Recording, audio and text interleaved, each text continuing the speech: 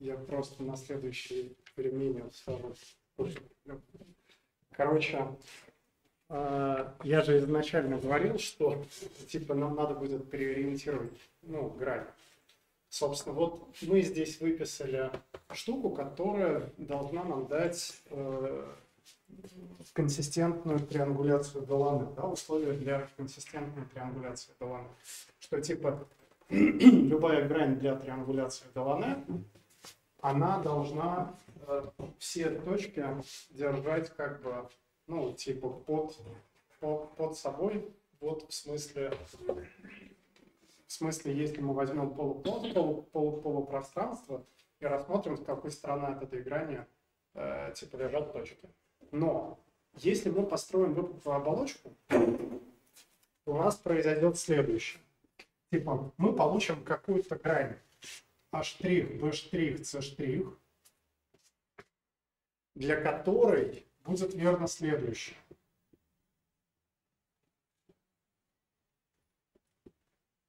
что типа любая точка, которую мы подставим, будет положительно ориентирована. Да. Вот. А теперь давайте мы сделаем следующее. Ну, мы скажем, окей, значит, если мы возьмем и просто два столбца этой грани местами поменяем, ну, это все равно, что мы переориентируем грань. А, и все будет хорошо. Все будет хорошо. Да. То есть, грубо говоря, когда мы возьмем из выпуклой оболочки, правда, мы возьмем не все грани, сейчас будет понятно почему, но когда мы возьмем из выпуклой оболочки, э, значит, какое-то множество граней, нам надо будет просто их переориентировать для того, чтобы ну, привести их, ну, типа, для того, чтобы на плоскости они образовывали треугольник нужной ориентации. Как бы все просто. Теперь давайте мы осознаем, а какое подмножество этих граней нам надо будет забрать. Видимо, те, которые ориентированы вверх?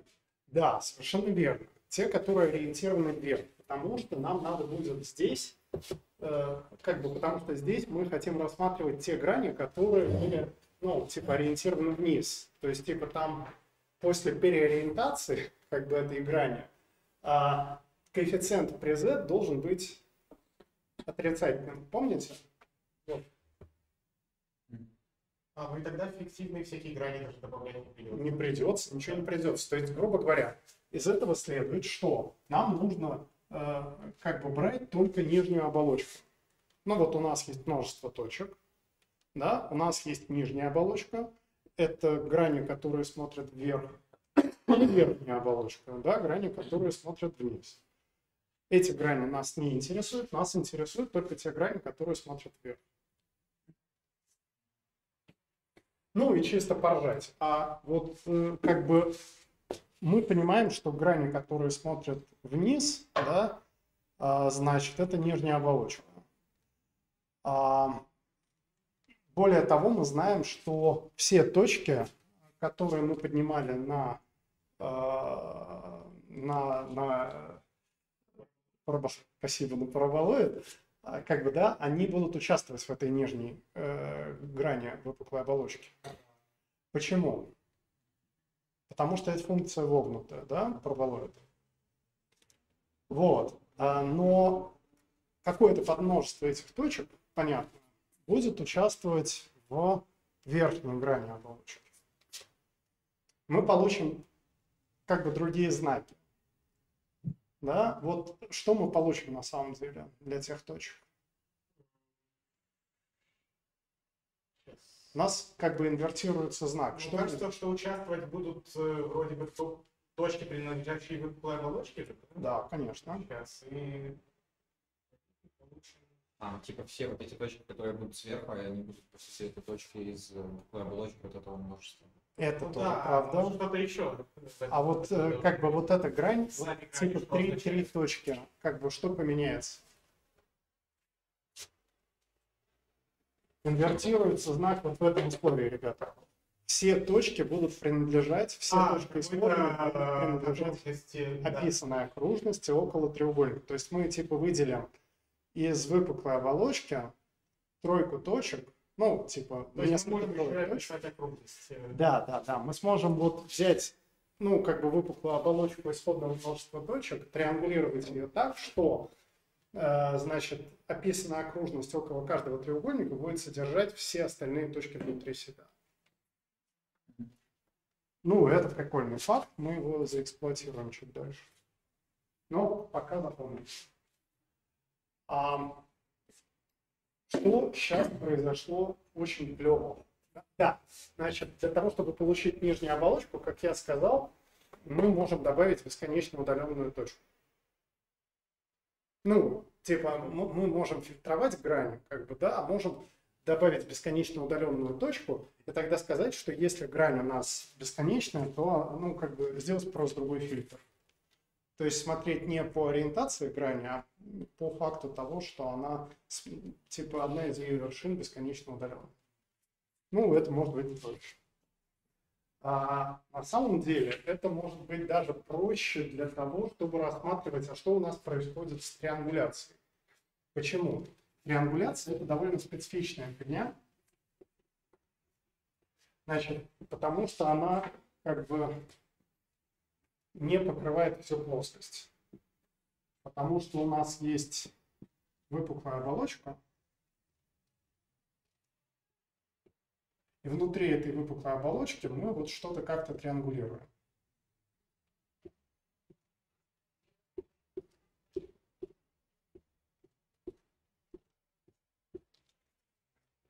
Правда? А, но теперь смотрите, мы можем сказать, вот мы ввели вот эту бесконечно удаленную точку, и давайте мы сделаем вид, что она есть где-то и на плоскости, что мы можем ее как-то опустить на плоскость. Понятно, она очень странная, да, потому что у нее нет направления. Ну, типа, если мы ее опустим на плоскость, то как бы z занулим.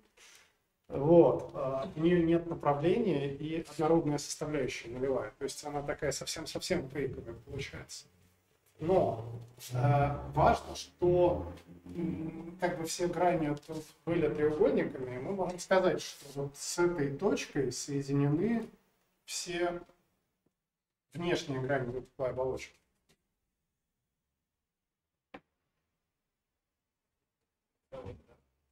Да, и это очень интересный момент. А почему? Ну, я расскажу чуть позже, почему это интересно. Но пока мы это запомним. А, хорошо. Значит, но как минимум нам это интересно, потому что мы всю плоскость можем типа покрыть такими треугольниками. Да, там эти треугольники странные в каком-то смысле, но главное, что вся плоскость разбита на такие треугольники. Так, а, давайте поедем дальше. Значит, мы с вами научились строить триангуляцию Делане, получается, за NLGN. Потому что мы умеем за NLGN построить нижнюю оболочку. Тогда делаем? Мы просто типа, называем координаты и связываем себе подать? Э, да, спасибо. Значит, мы делаем следующее. Мы как бы берем исходные точки, которые у нас добавляем координаты x квадрат плюс y квадрат, ну, типа в качестве z, строим нижнюю оболочку, получаем конечные грани ну, вот этой нижней оболочки, инвертируем их, ну, типа меняем им порядок, и говорим, это триангуляция.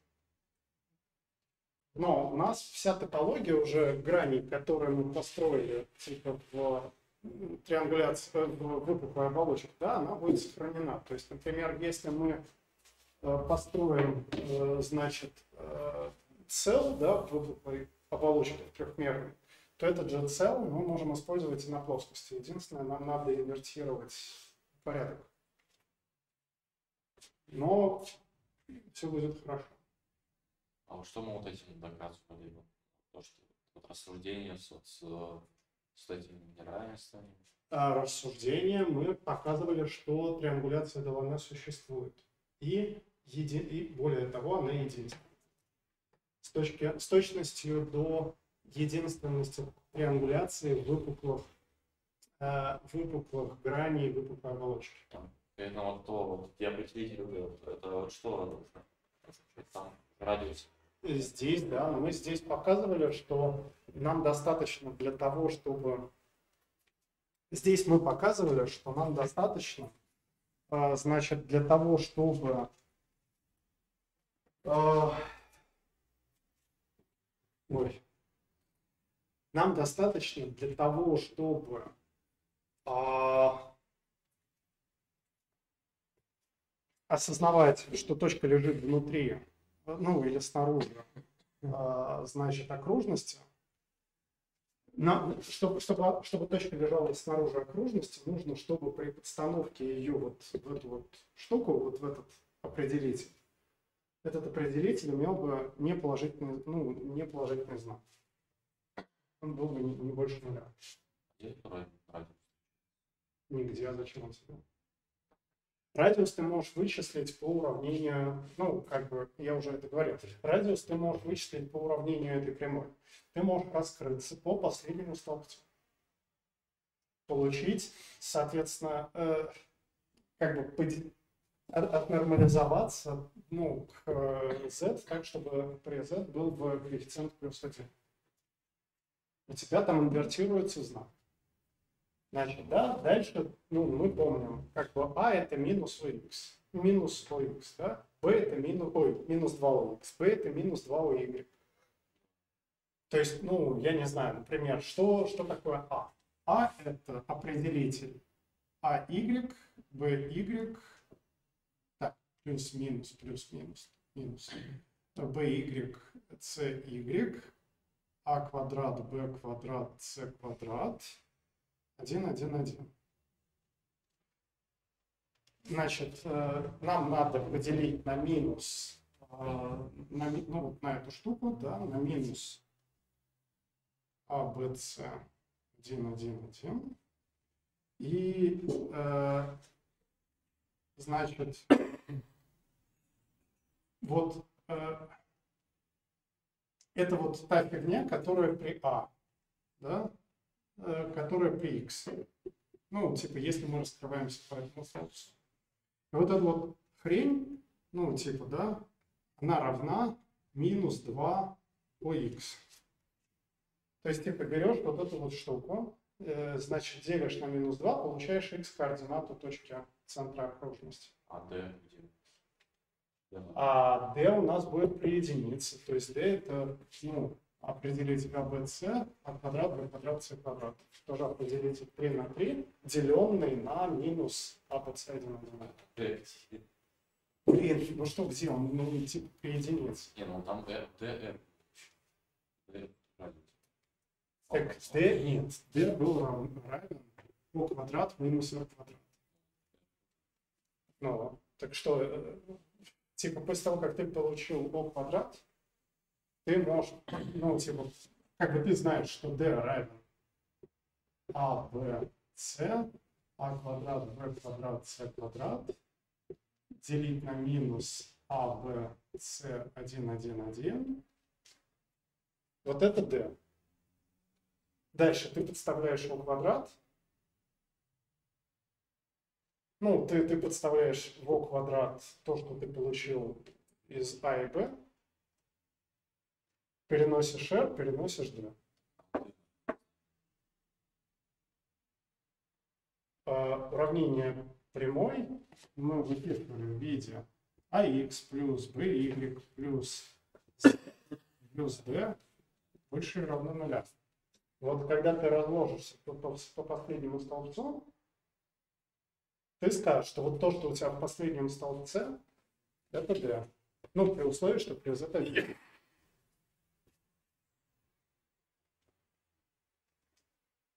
Почему так делаем? В смысле?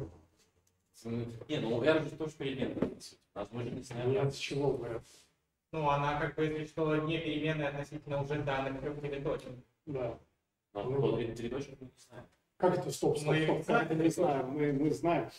Ты хочешь O и R в зависимости от ABC. Ну, я тебе сказал, как их получить. Ну, очень надо, давай доведем это. Но, честно, Не, это, это нет.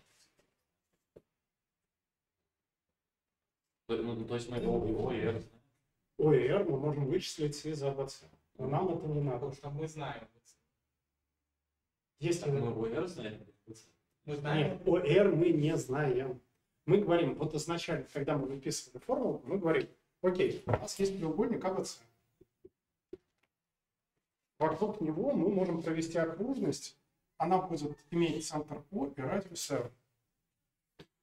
Мы не знаем, что такое О, что такое R. Мы знаем, что они какие-то есть. И дальше мы действовали, исходя из того, что мы как бы, как будто бы их знаем. Вот что, если мы их знаем? Тогда вот у нас будет такая-то формула. М, хорошо, мы получили вот, вот, вот эту вот формулу. Вот эту плюс формулку z равно x квадрат плюс y квадрат. Все-таки нет минуса? А? Там нет во втором?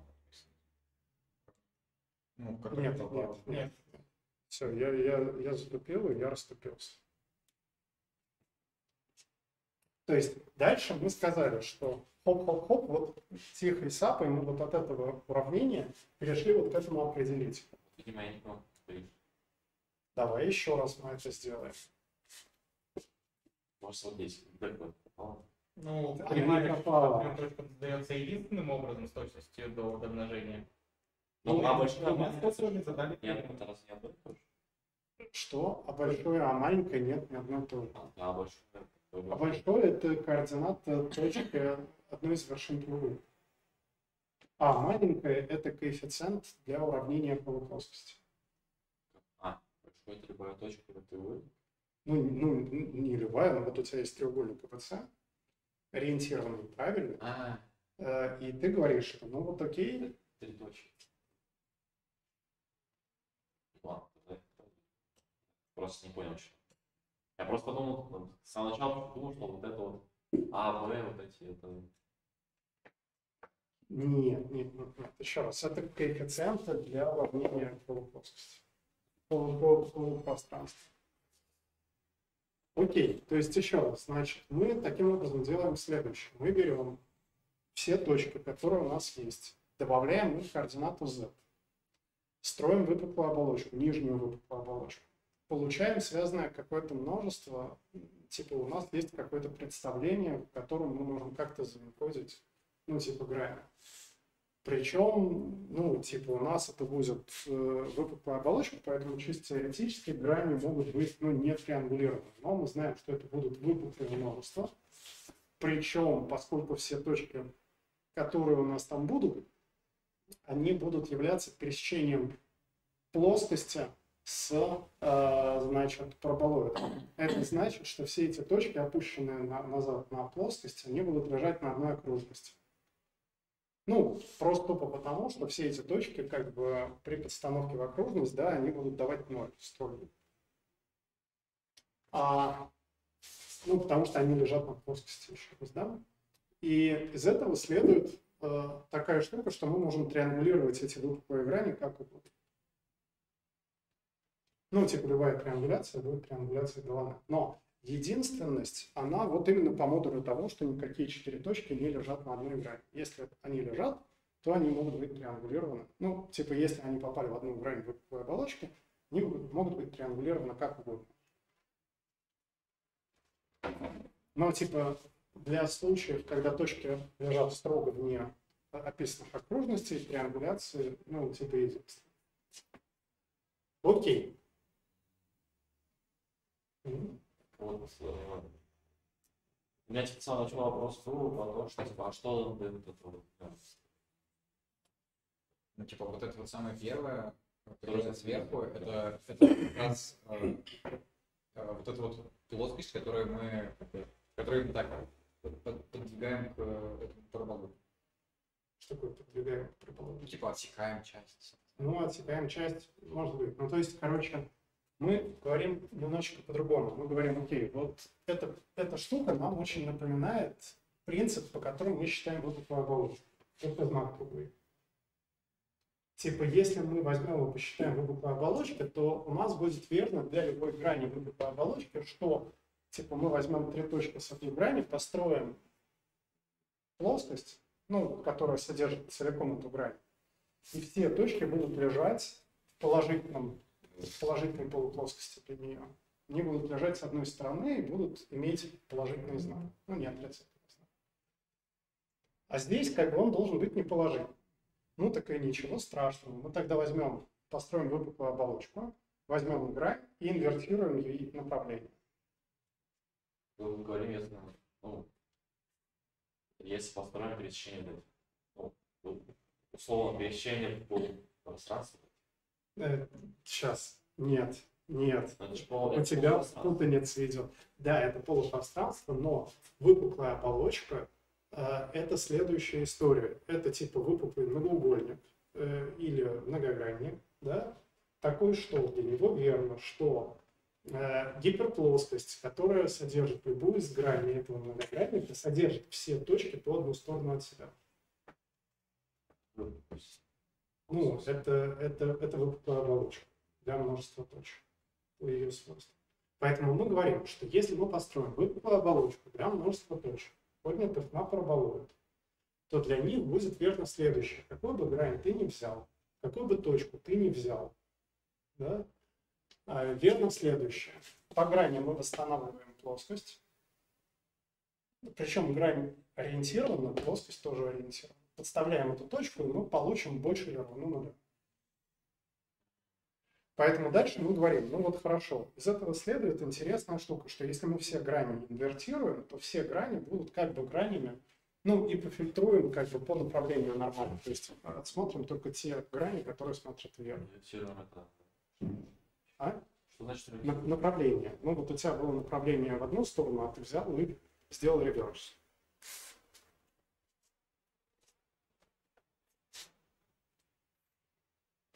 Если почему не может быть так, же? ну, почему у нас да, вали- валидные были. Так сейчас, ровно потому что у тебя существует выпуклая оболочка. Ну, поэтому ты можешь взять, вот по- из этого следует, что, во-первых, все грани у тебя, ну, как бы выпуклая оболочка ты можешь превратить в треугольник. Мы говорим, берем грани и триангулируем ее как. От первой точки во все проводим ребра. А, значит, это первое. Второе, мы выделяем только те грани, которые, ну, нормально, которых смотрят вверх. Третье. Это будет триангуляция, то есть у нас не останется точек, которые не участвуют в триангуляции. Ну, то есть выпуклая оболочка может сожрать какие-то точки, да? Типа, как бы какие-то точки окажутся строго внутри.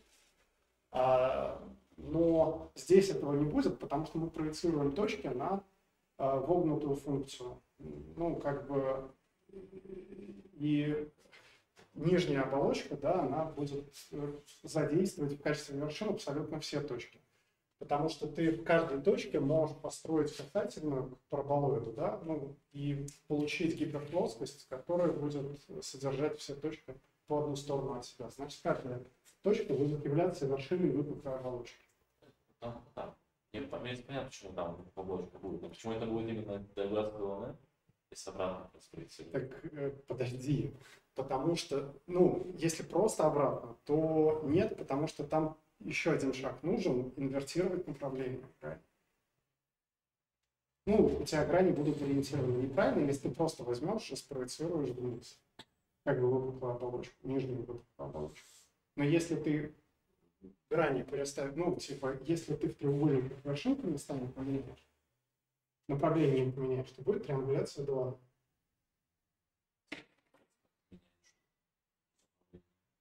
а меняется из-за направления, меняется вот этот знак. Не, как, как э, направление ребра меняет его проекцию.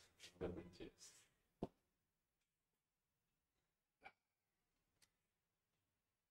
А, тебе нужно для триангуляции Делане, чтобы все треугольнички были ориентированы правильно. Если тебе на это наплевать, то ты можешь забить.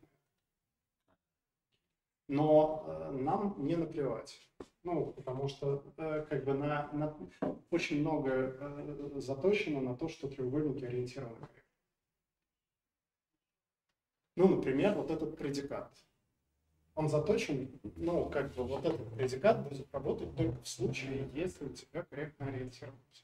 То есть, например, ты можешь сказать, вот у тебя грань триангуляции дала, есть какая-то просто точка Q.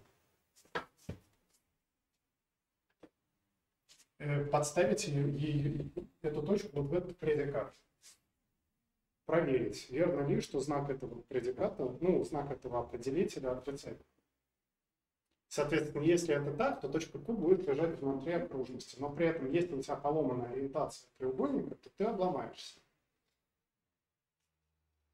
А, да, последний вопрос. А, эта тема вот этого не, не- не выполнится, если у нас не триангуляция Долана получилась.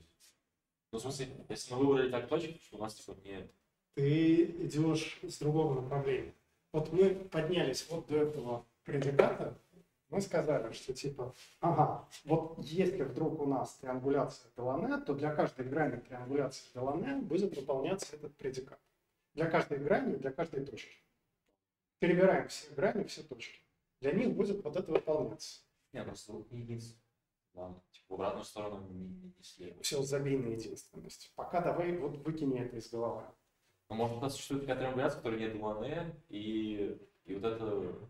Э, Так, подумай, что ты говоришь. Если у тебя есть триангуляция, э, то есть определение триангуляции Делане, вот ровно это, что ты можешь, э, Кирилл, закрыть окошечко. Ладно. Типа, если у тебя есть триангуляция, триангуляция называется триангуляцией Делане, в случае, если около каждого, каждой грани ты можешь провести окружность, так что в, ее внутренность не попадает никакая другая вершина триангуляции. Поэтому, если у тебя их существует несколько, это определение не противоречит нигде, единственность в определении не попадает. Единственность попадает только в одно место, что пусть никакие четыре точки не лежат на одной окружности.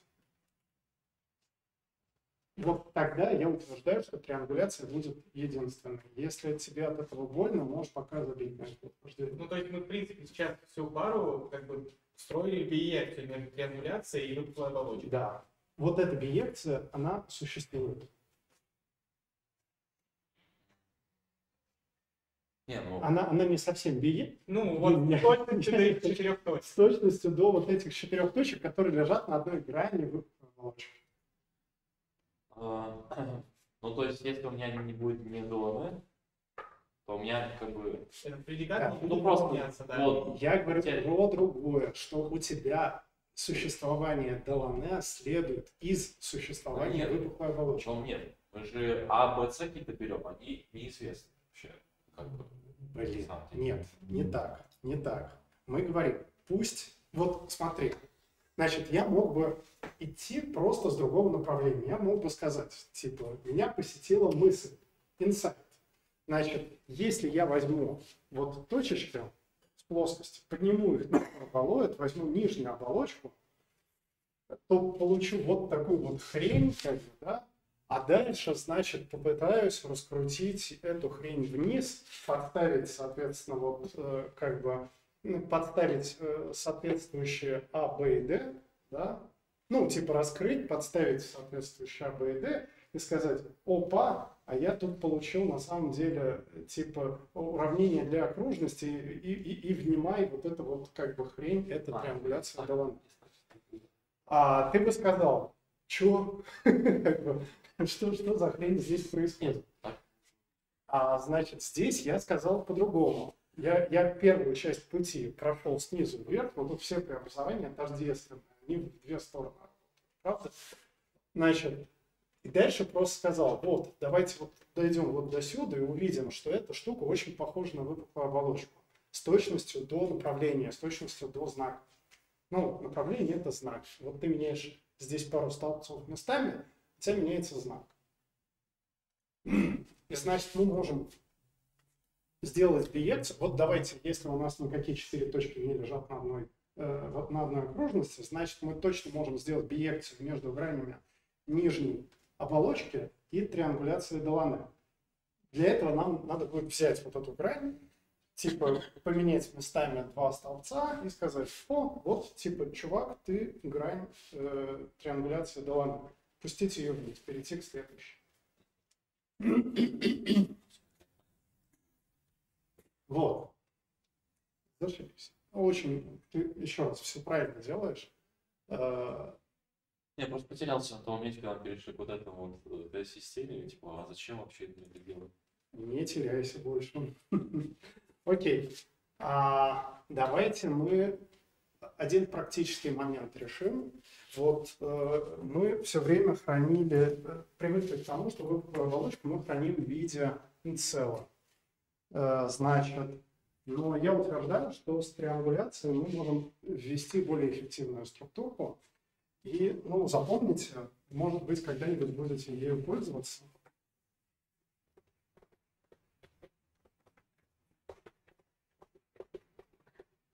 Ам,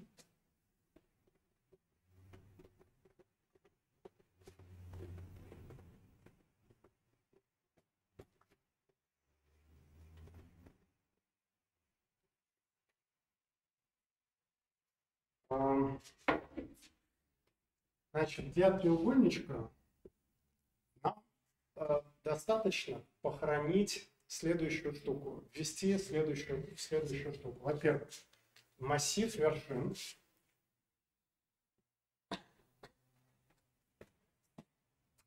А во-вторых, массив так называемых э, opposite corners. Ну, я не знаю. Э, давайте введем понятие угол. Что это такое? Значит, э, вот есть вершина в триангуляции, да, с которой как бы там, ну, которой смежно в среднем 6 треугольничков. Следствие теоремы Эйлера. А, но давайте мы скажем, что угол – это локальный индекс вершинки. Ну, это пара, локальный индекс вершинки и индекс и, и, и указатель на треугольничек, индекс треугольничка и так далее. Вот что-то такое. То есть это что-то, что характеризует вершинку вот в углу треугольника. Так? И давайте мы для каждого такого угла похороним маппину, ну, типа, как бы в противоположный угол. То есть мы можем похоронить для, каждого, для каждой вершинки в треугольничке opposite corner количество трех штук. Чаще всего, если триангуляция статическая, например, да, она ну, в геймдеве вам приходит меж в виде статической триангуляции. Как правило, вы его препроцессируете заранее, и он ну, как бы не меняется. Или меняется очень локально, ну, неважно. В общем, если у вас меж статичен, то э, индекс триангуляции это какая-то чиселка. Вы можете просто что сделать? Как бы э, номер треугольничка умножить там на, на 3, и прибавить как бы 0, 1, 2, 3, ну, 0, 1, 2 локальный индекс вершинки. Тогда угол тоже будет, ну, как бы чиселкой, э, ну, просто как бы на 2 бита больше. То есть, еще раз, получается, те, так сказать, объекты, которые мы храним, это сам треугольник, вершины Э, и Треугольники. В каждом в треугольнике каждом ты хранишь треугольнике три вершины. три вершинки, да, индексы трех вершин и противолежащие для каждой вершинки углы. А вот именно что-то, именно за структура все-таки Угол – это штука, Именно- по которой ты можешь... Угол – это штука, по которой ты можешь получить пару треугольник и локальная вершина в нем. А, то есть это именно пара треугольник вершинами. Ну, в некотором смысле, да. Просто еще- эффективно можешь. Относительно каждой вершины еще вот так упорядочено. Относительно каждой вершины упорядочено что-то. Ну, еще. типа, не знаю, типа зафиксировать, если вершину, то как раз они типа по кругу. В этом плане, да. То есть, например, ты можешь сказать, вот у тебя есть угол, И хочу Э, на соседей хочу- перепрыгнуть, там индекс какой-нибудь. Да, да, да. Ты можешь сказать, э, значит, пойди э, по часовой стрелке. Ну, типа у тебя локальные индексы, если ты знаешь, что треугольник упорядочен против часовой стрелки, у тебя локальные индексы какие-нибудь, например, 0, 1, 2, значит, ты знаешь, как из каждой вершины перейти по часовой и против часовой стрелки. это простые две, ну, типа таблички, да, например, где-нибудь статичные. То есть, как бы ты переходишь по часовой стрелке, берешь opposite corner и э, проходишь снова по часовой стрелке. Получаешь, ну, типа corner, который э, как бы следующий. И так можно действительно, значит, э, покрутиться по часовой стрелке. Ну, против часовой стрелки, соответственно, ты переходишь дважды против. То есть вот это как бы штука, которая, ну, позволяет, например, крутиться. Да, вам не обязательно выделять. Если очень хочется по вершинке получить хотя бы один корнер, то еще можно ввести глобальную мапу из вершин в корнер. Ну, типа сохранить один корнер какой-нибудь, да, который будет соответствовать этой вершине. Вот, но это вообще совершенно охренительная структура, мне очень нравится. Можно еще выпендриться, значит, и сделать лучше, но я не буду рассказывать, это уже гемор. Но важно, что вот такая структурка, она позволяет очень сильно сэкономить на упаковке э, данных, в отличие от Cell. Cell в этом плане существенно менее компактен. Э, домашнее задание, посчитайте, пожалуйста, типа, насколько... Вот если бы вы взяли Cell, да, э, значит, э, ну, типа у вас вот есть формула Эйлера, как бы мы берем бесконечные треугольники, все, все такое, вот типа вопрос, как связано будет, ну, типа, как, как, какова будет пропорция, какой будет рейшер между э, упаковкой в цели и упаковкой в, в таком виде, структуры триангуляции. Вас это очень приятно удивит, я думаю. Вот, так что имейте, пожалуйста, это. Так, давайте дальше.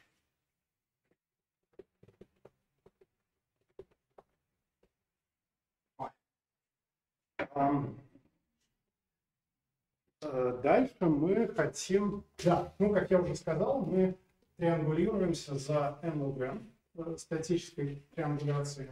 Значит, есть другие варианты триангуляции, строения триангуляции Долане, я их не буду рассказывать. С точки зрения а, мне кажется, что они относительно мало дадут новой информации, но вы можете посмотреть, есть триангуляция Делане, заметающая прямой. Есть разделяя глаз, мне не нравится разделяя глаз. Я не читал, я... Но у меня написано уже 3D оболочка.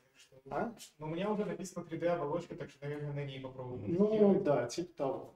Поэтому, как бы, если есть 3D оболочка, то кажется, что э, проще работать с ней. Тем более, что э, когда вы работаете все-таки с плоскостью, вам нужно думать про описанные окружности, это неудобно. Когда вы работаете с выпуклой оболочкой, вы все-таки работаете с ну, с плоскими объектами, пусть и в 3D, да, это, ну, мне, это вкусовщина, но мне кажется, что это проще. А, но, тем не менее, есть разные алгоритмы, ну, имейте это в виду, их можно, в общем, по, почитать, как бы, статей довольно много. Значит, давайте мы разберем э, вот что очень важно, э, мы хотим иметь динамическую, динамическую триангуляцию Делана. То есть здесь у нас статика. Да, безусловно, значит, есть динамические выпуклые оболочки, и в 3D тоже. А я их вам не буду рассказывать, ну, типа, мне самому плохо. Вот, но как бы они есть. А, и более того, как это не смешно, они на самом деле очень похожи будут на то, что мы сейчас будем делать ну, с э, триангуляцией голландов в каком-то смысле, поэтому, наверное, вы даже можете догадаться, что там будет происходить в динамических оболочках. 2D мы рассматривали, но в 3D, как ты догадываешься, там больно. Вот. Э, но давайте мы посмотрим, что мы можем сделать в 2D с динамической триангуляцией Делана. Э, есть, опять-таки, разные подходы. Вы можете уже сейчас, наверное, предложить что-то для динамики. Вот. Э, для динамической оболочки. Но давайте мы попробуем следующую штуку. Значит, давайте мы возьмем и скажем, что у нас строится система бернулевских множеств. А, Значит, то есть у нас есть система вложенных триангуляций Делане. А, Триангуляция Делане нулевого уровня – это триангуляция Делане, построенная по всем точкам. Точка переходит на первый уровень, если, а, значит, мы бросили монетку, она оказалась удачной. То есть это что-то типа skip, skip Делане Triangulation, но только как бы только как бы там связь менее очевидная, то есть понятно, что там есть связь от точки вниз. Как бы, да, там связываются вершинки. А, значит, э, dt, ну, log n, например. А, что мы хотим сделать? Во-первых, да, блин, я поспешил. Сейчас, извините, давайте мы перед тем, как, как к алгоритму кидаться, да, мы сделаем несколько вещей. Значит, во-первых, нам надо показать, что мы можем, в принципе, добавляя точку, э, каким-то образом получить, э, каким-то разумным образом получить триангуляцию Далана. Как мы хотим это показать? А, Значит, мы докажем несколько утверждений. Утверждение номер один. А, Которое мы хотим показать. А, Так, для этого утверждения мне нужны будут определения. Значит, давайте сначала определения. Вот у нас есть определение, а, у нас есть определение триангуляции Делане, что окружность, построенная около любого, любой грани, не содержит внутри себя точек. А можно сделать догадку в плане сведения все-таки к выпуклой, если говорить именно про, например, алгоритм Квикхала, кажется, что новая добавленная точка всегда будет конфликтовать с каким-то и ребром, и там можно типа за от количества этих треугольников. Не-не-не, э, это же динамическая оболочка, она чисто теоретически... А, я, я, я понял, да-да-да-да-да-да, все, все, все, все так и будет. Вот. Итак, значит, у нас есть глобальный критерий Делане, э, что для любого, э, для, для треугольника, что для любого, для любого треугольника, для любой грани точка не залезет внутрь описанной окружности. Мы можем построить глобальный критерий для ребра. Если у нас есть ребро, то для любого ребра существует окружность такая, что внутрь не залезет ничего. На самом деле несложно доказать, что эти два критерия эквивалентны. Типа для любого, если для любого ребра у нас существует окружность, то глобальный критерий Делане для треугольника выполняется и наоборот. Ну, наоборот, это совсем easy, да? Если выполняется этот критерий для любого треугольника, то для ребра он, конечно, выполняется. Как в другую сторону доказать?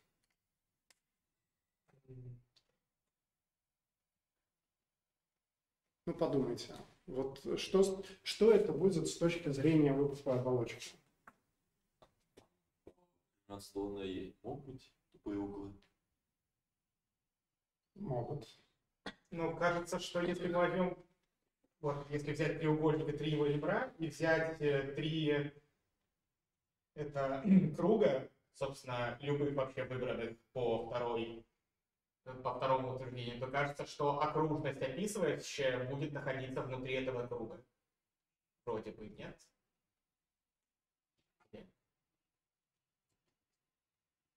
Или все-таки нет? Это Чисто. сложно. Вот я поэтому и говорю, мне Хотя сложно нет, про окружность. контрпример все же есть. Мне сложно говорить про окружность, ребят. Да. А я предлагаю вернуться в 3D. Как это не парадоксально, мне кажется, будет проще. Вот смотрите, у вас есть А, выпуклая оболочка. Значит, у вас существует, вы, вы рассматриваете... А, тогда просто, да, относительно каждого ребра существует плоскость, относительно которой... Да, Совершенно верно. Что такое окружность? Это пересечение какой-то плоскости. Вот вы выбрали отрезок, да, по- по- построенный на паре вершин, э, значит, которые поднимали с плоскости на э, параболоид. У вас существует какая-то гиперплоскость, такая, что а, все остальные точки лежат по одну сторону от нее. А, И эта гиперплоскость сечет, ну, типа, по эллипсу параболоид, ну, этот эллипс, понятно, когда вы опускаете на плоскость, он становится окружностью. А, то есть вот этот факт у вас есть. Но из этого следует, что на самом деле вы можете как бы в одну в другую сторону повернуть окружность до, до- до первого залипания до точки и получить грань выпуклой оболочки. А, то есть из этого будет следовать, что ну, для, для, для, для грани это тоже верно, что это ребра, как бы ребра соответствующие грани. А, для плоскости это будет эквивалентно тому, что на самом деле вы как бы будете а, центр вот такой вот окружности вести к центру, а, значит, ну, типа центр описанной окружности около треугольника – это пересечение серединных перпендикуляров. Вот вдоль серединного перпендикуляра будете вести окружность, пока она не защелкнется, значит, описанная окружность. Это вот эквивалентно вот этим вот поворотам в 3D, о которых я говорил. Значит, это глобальные критерии для ребра. Теперь давайте введем локальные критерии для ребра.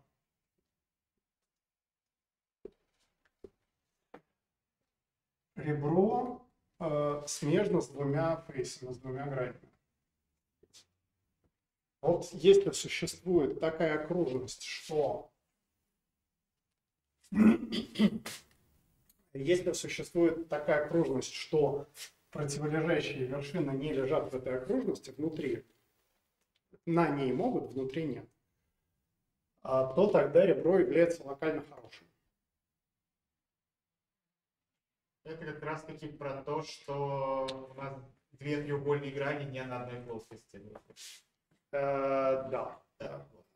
Нет, сейчас, не, нет, не, не, не на одной плоскости, а что, э, еще раз, они могут лежать на одной плоскости, что у тебя может быть такая ситуация. Это тоже хороший, А, то есть там, чтобы еще Но важно, высоты, так сказать. важно, что важно, что да, что э, как бы что у тебя важно, что у тебя ни одна точка не залезает внутрь. Что существует такая окружность, что ни одна точка не залезет внутрь. Ну, может быть такое, что как бы такой окружности нет. Что ты берешь отрезок, и как бы ты не крутил плоскость около этого отрезка, вот у тебя будут две точки, которые будут всегда находиться по разные стороны от этой плоскости. 3D, понимаете, да? И локальный критерий для треугольника это что все ребра треугольника являются локально хорошими или, ну, типа пара треугольник и противолежащая вершина не лежит в описанном около треугольника окружности.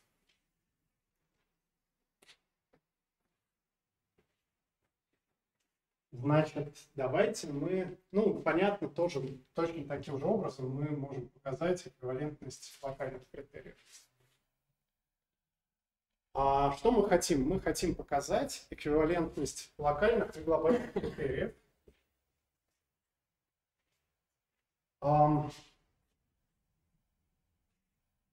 Но перед, перед тем, как показывать э, эквивалентность локальных и глобальных критериев, мы хотим э, с вами убедиться, что мы можем каким-то образом, в принципе, за разумное число шагов свести э, любую триангуляцию к триангуляции, где будут выполняться для каждого ребра локальные критерии. Понимаете, да? Чем, чем локально от глобального отличается? Ну, Локальный, всех. глобальный, он для всех точек. Вот ты берешь каждое ребро, и типа оно является хорошим для всех точек. То есть ты, существует окружность такая, что никак, никакая точка не попадет строго внутрь окружности. Локальный рассматривает только две смежные точки. Две смежные с ребром. Но полярность это как то есть локальный. Мы сейчас докажем. Нет, полярность э, глобального с чем? Э, с локальным. То есть, грубо говоря, если у тебя каждая грань локально хороша, то каждая грань глобально хороша. Это то же самое, что Нет, блин. Локальная хорошесть, она только для смежных треугольников.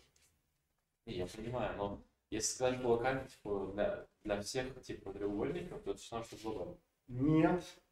А чё- а чё? Нет, конкретно отношение треугольника и его соседние вершины. Тебе в глобальном случае надо перебирать квадрат вариантов, А а тут тут линия. линию.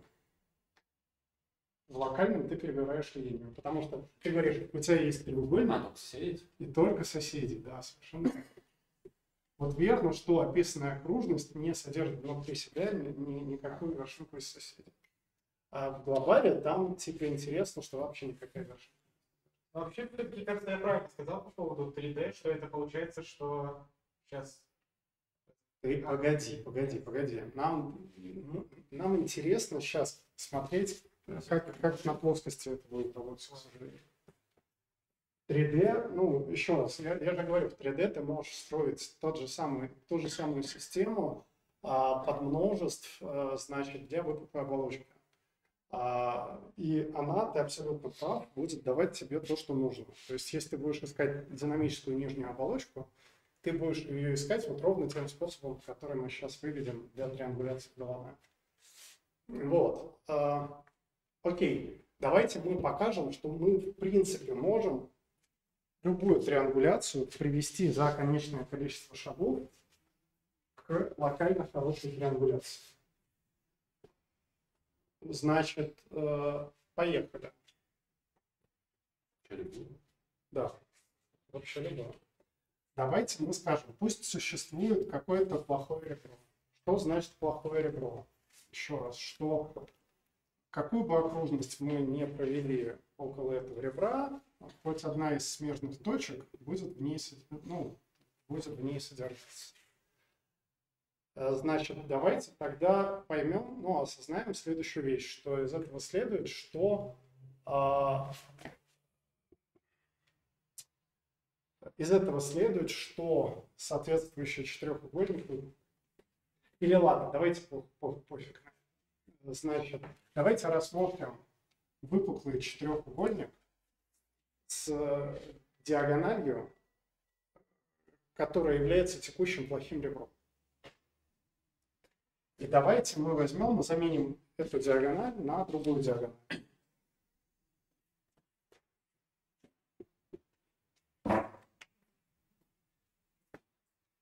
Это так называемый флип. Мы флипнем, ну, флипнем ребро. Понятно, да? А на самом деле мы можем утверждать, что значит в четырехугольнике не может быть двух плохих диагоналей.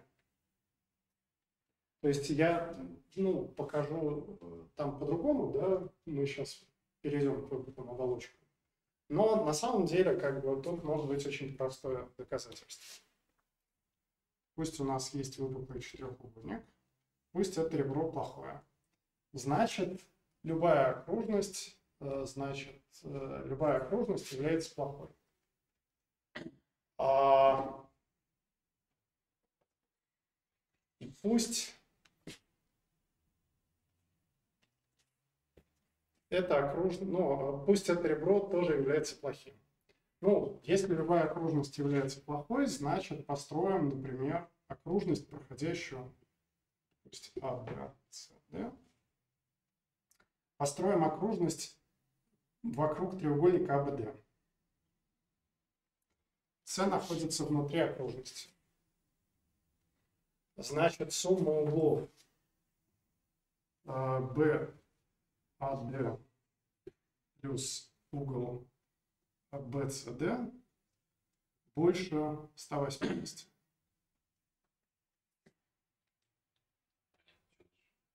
Ну да. Дальше строим окружность около АБЦ. Она включает в себя D. Значит, сумма этих двух углов тоже больше 180. Значит, сумма углов четырехугольника строго больше 360.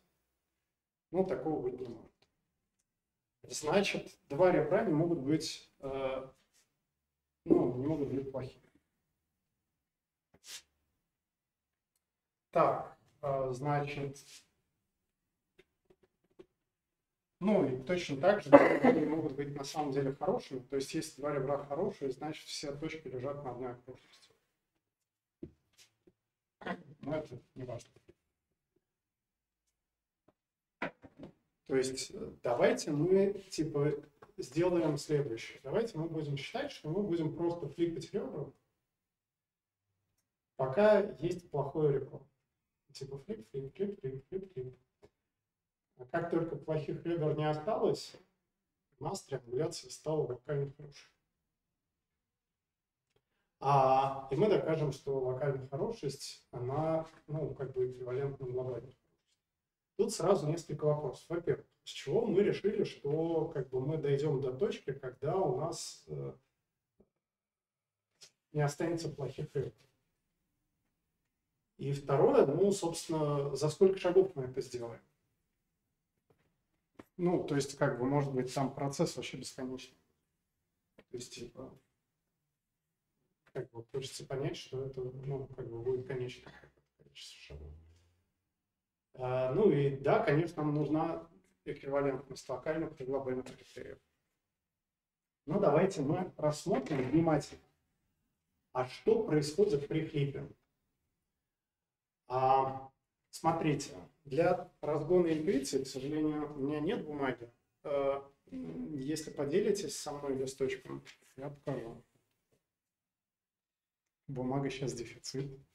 Ну, кажется, что, грубо говоря, если так говорить про, в принципе, про треугольник, который мы рассматриваем при всех этих клипах. Я, извини, я его да. подсхреначу. Кажется, он постоянно расширяется, а сама наша триангуляция, в принципе, ограничена выпуклой оболочкой. Что-то типа того. Э, нет, не в этом. Не в этом point.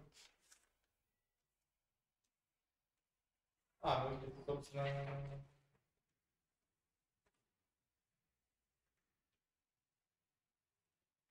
Да?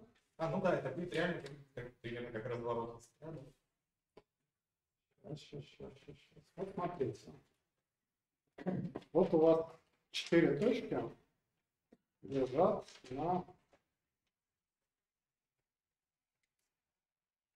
лежат на э, карболоиде. Значит, что значит, что у нас плохое ребро? Ну, вот это означает, что вот здесь внутренность какого-то многогранника, да, а, ну, триангуляция не является... Обратите внимание, что мы можем по-прежнему взять какую-то триангуляцию, которая не является триангуляцией Делане, поднять ее на правовоид, и она на самом деле будет давать нам, э, значит, какой-то многогранник. Но этот многогранник не будет выпуклым. Но важно, что этот многогранник будет лежать под э, крышкой как бы выпуклой оболочки. То есть вот нижние грани, которые мы берем и поднимаем, они не будут пересекаться с, выпуклой, с верхней частью выпуклой оболочки. Я это не буду доказывать, но если вы подумаете, будет понятно почему. Э, но вот они там будут как-то вот, типа там появится какое-то множество типа плохих ребер, которые как бы вдавливают выпуклую часть внутрь. И флип это вот штука, которая берет это ребро, разрушает и э, вдавливает локально вот типа два, ну как бы выдавливает два вот таких так ориентированных тетраэдра, два вот так ориентированных тетраэдра. Делает пару тетраэдров как бы выпуклыми. Это не значит, что она исправляет целиком все, что есть, и что нам не придется разрушать эти тетраэдры, потому что вот эти ребра тоже могут быть плохими но она локальное улучшение делает вот так. Понимаете, да? Это интуиция. Э, Спасибо. Э, Значит, теперь, что мы будем делать? Мы будем смотреть, как меняется объем, как меняется объем, а, значит, этого многогранника. Увеличивается. Вот, если мы покажем, что э, на каждом флипе объем строго увеличивается, то мы победили. Почему? Бесконечно расти не может. Потому что он ограничен э, объемом. Он ограничен объемом выпуклой оболочки, совершенно верно. А, Значит, э, во- возможных вариантов у нас конечное количество, возможных вариантов триангуляции много, но их конечное количество. Значит, на каждом шаге мы строго увеличиваем объем среди какого-то конечного множества вариантов. Поэтому рано или поздно мы придем к какой-то финальной точке. Это не значит, что мы сойдемся к э, варианту, когда мы уйдем полностью в выпуклую оболочку. К сожалению, я не могу доказать, что мы типа остановимся ровно на выпуклой оболочке. Если вы сможете, то это будет прикольно.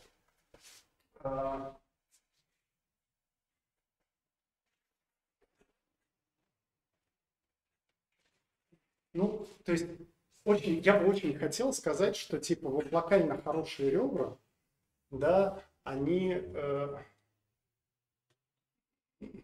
ну вот, э, я бы очень хотел, чтобы у меня была бы возможность на что-то сослаться и сказать, что, ну, типа, все ребра локально хорошие, вот из этого будет следовать то, что каждое ребро, ну, типа, мы можем провести плоскость, да, и что, как бы, действительно все остальные точки будут, ну, типа, по монотонности как-то тоже находиться с одной стороны от этой плоскости, но я не умею. Вот. Но, э, по крайней мере, что мы за конечное количество можем прийти к э, локальному критерию для всех точек, ну, вот это мы сейчас с вами сделаем. Давайте рассмотрим, как меняется объем. Помните, что в принципе объем это сумма по всем тетраэдрам. У нас есть многогранник, у нас есть, э, значит, ориентированные, э, ориентированные тетраэдры.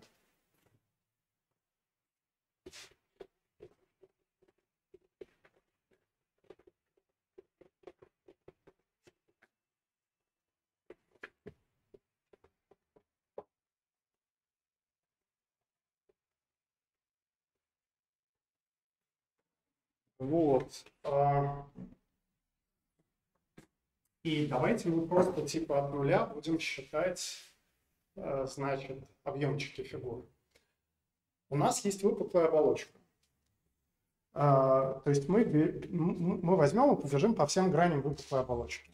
Ну, как бы считаем типа объем от нулевой вершинки. Ориентированный объем от нулевой вершинки. А, Ну, поехали. Значит, да, э, при этом, как у нас поменяется объем после флипа? Ну, у нас был какой-то старый объем, значит, э, были, была грань. А, значит, была грань.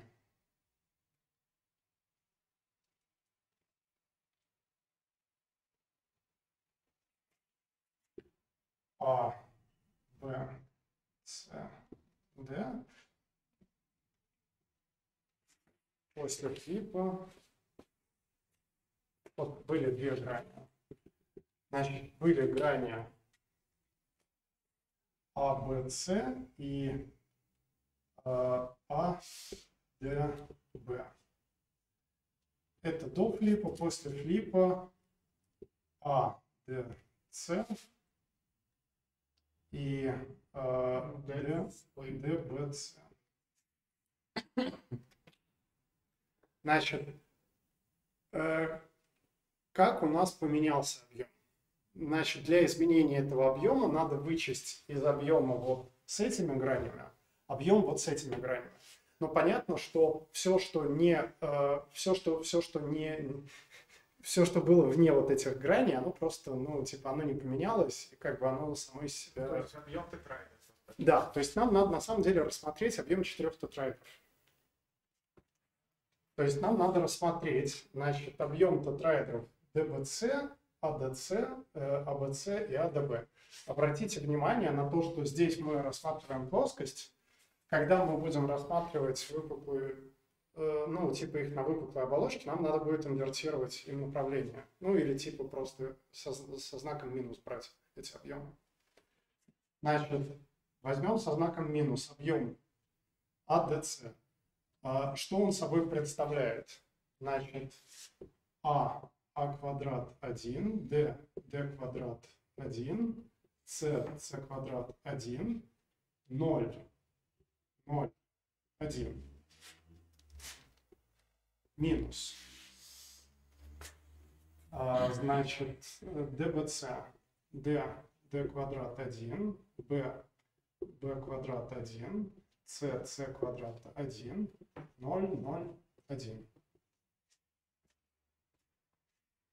Это объем, который стал, вычитаем объем, который был. Ну, вычитаем, но он тоже со знаком минус. Да?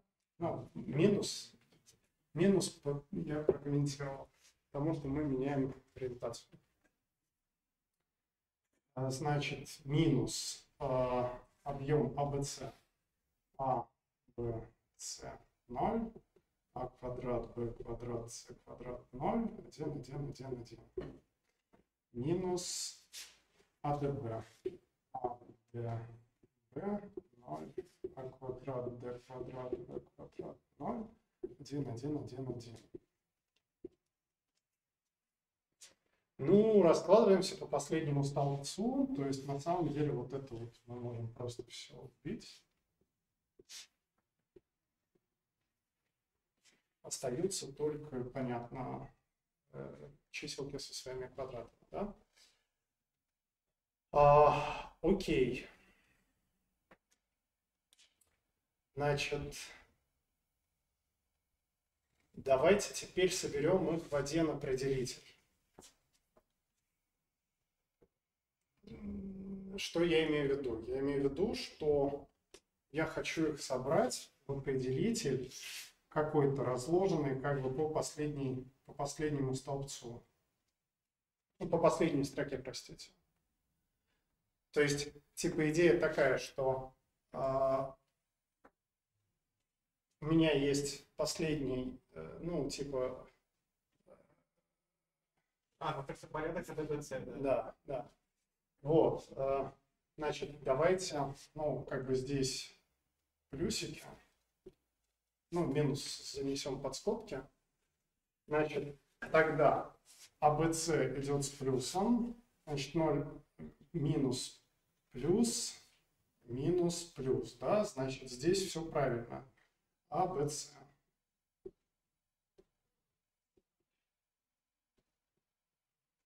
Значит, и здесь должен пойти d, d квадрат. Ну, давайте проверять. Значит, АБЦ мы нашли, он с плюсом действительно. Еще раз проверим. Плюс, минус. А, нет, простите. Значит, он значит с минусом. А, значит, да, вот этот с минусом. А, блин, нет, так, ерунда. А, он же раскладывается по этой единице, значит с плюсом. Все хорошо.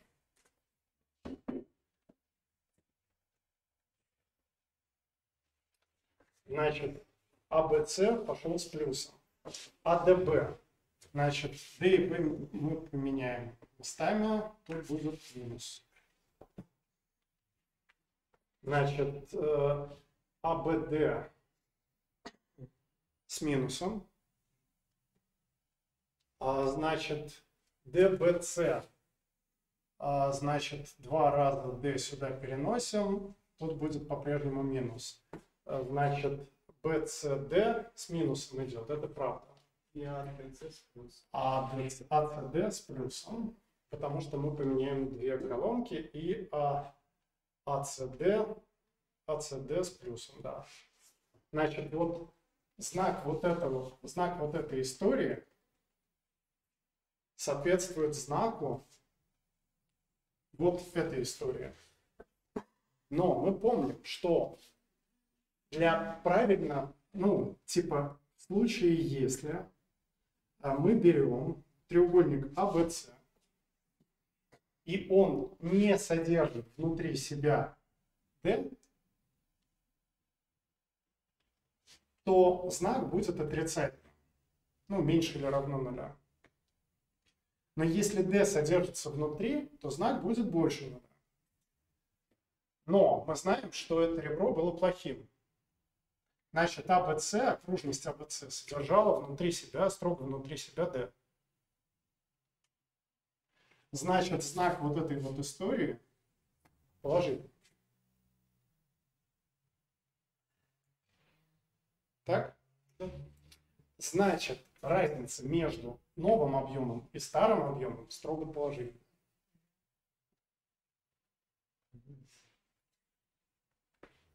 Посчитали, э, посчитали, расписали то, как меняется объем определителя, сказали, что это просто разложенный по строке такой-то определитель, такой-то определитель, последний это, это просто предикат того, что D внутри окружности, который... Да, который мы уже обсуждали раньше.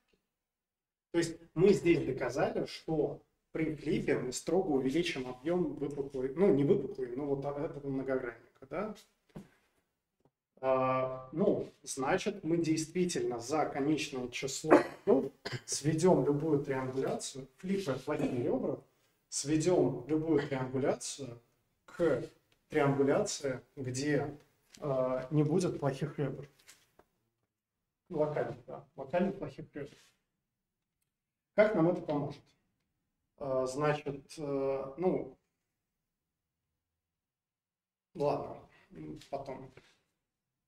Почему локальная триангуляция, локально хорошая триангуляция, значит, будет глобально хорошая?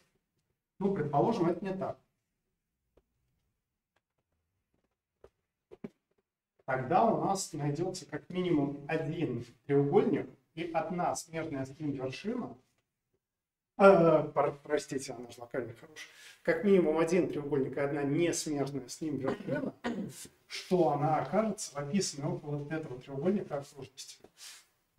Давайте найдем такую пару треугольник вершины, что угол, под которым эта вершина наблюдает ребро треугольника, будет максимальным.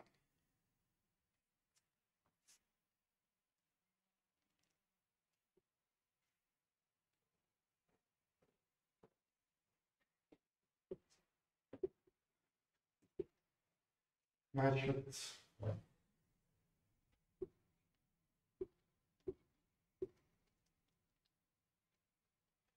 вот тут пара Q и ABC. И я говорю, что э, значит Q конфликтует с ABC, то есть она залезла внутрь окружности ABC, и угол VQC максимальный, типа я предполагаю это. А, но поскольку триангуляция локально хорошая, значит вершинка D смежного треугольника по ребру BC да, а, лежит вне окружности. Ну, вне или внутри. Ну, вне или на, на, на самой окружности. Значит, поэтому, если мы докажем, что а, Q также лежит внутри треугольника а, внутри описанной окружности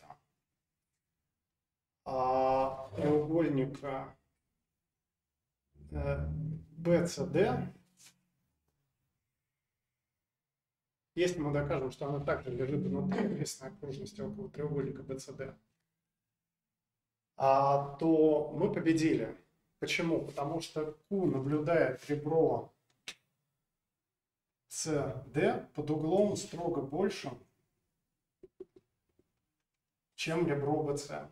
Почему? Потому что ребро CD наблюдается под углом, э, потому что ребро BC наблюдается под углом строго больше, чем э, угол, э, значит, D' QC, ну а этот угол не меньше, чем DQC. Значит, нам надо показать, что Q лежит внутри, а, что Q лежит внутри описанной окружности около треугольника DCB.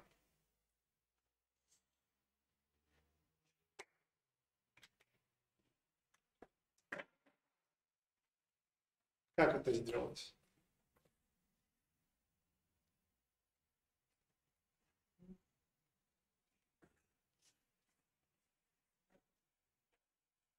Сказать, что она ну, типа угол D куб C получается большой. То угол DQC Получается больше, чем типа, о, сейчас скажу, 180 минус DBC.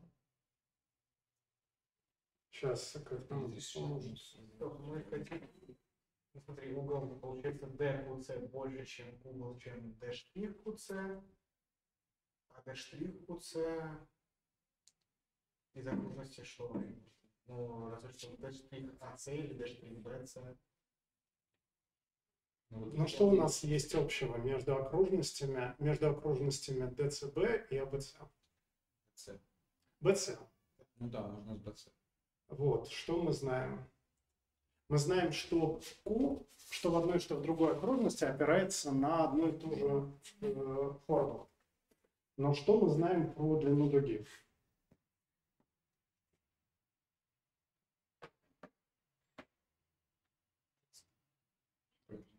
Да. Про дугу BC а, и дугу BAC.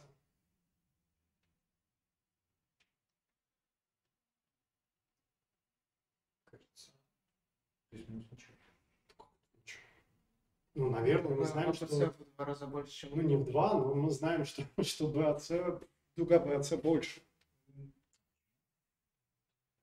В смысле, потому что дуга BC вложена в окружность.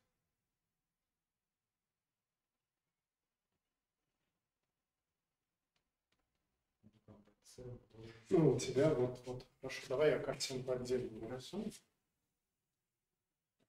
Вот раз. Вот два.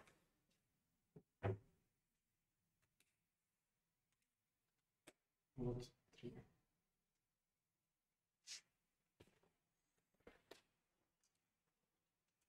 Вот я утверждаю, что красненькая дуга, А, Короче. синенькая. С синенькая, да. Окей, я думал BC, которая с другой стороны от. А, не-не-не-не-не-не, меня верхняя часть интересует. Что красненькая дуга меньше, чем вот эта вот синенькая, которая на ней лежит. А, смотрите, но при этом у нас дуга меньше, а угол тот же самый. Тот же самый угол опирается на дугу меньшего размера. Что это значит?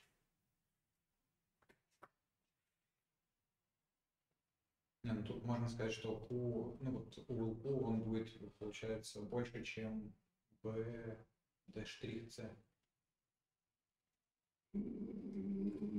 Забудь пока про это. Это, это- это нам нужно для того, чтобы мы сказали, что это противоречие, что этот угол больше, значит, ну, мы выбрали изначально не максимальный, ну, типа, не максимальную пару, а это противоречие, типа, сорян. Забудь уже про это. Все, нам надо доказать, что Q лежит внутри окружности УЦБ. Вот у, тебя есть что? У тебя есть Q. Ты знаешь, что для дуги э, BC, BC, э, что для дуги, дуги BC синенькой угла альфа было достаточно.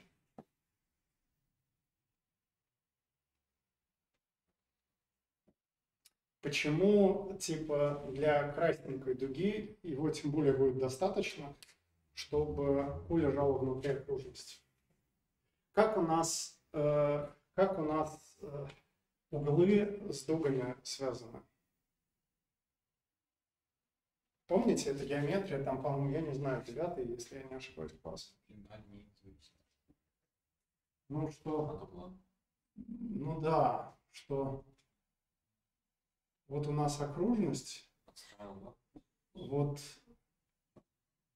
типа пусть у нас есть угол альфа.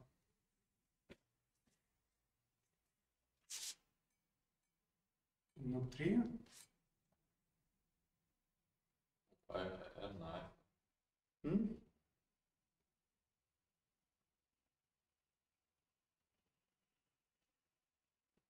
на альфа делить на 8.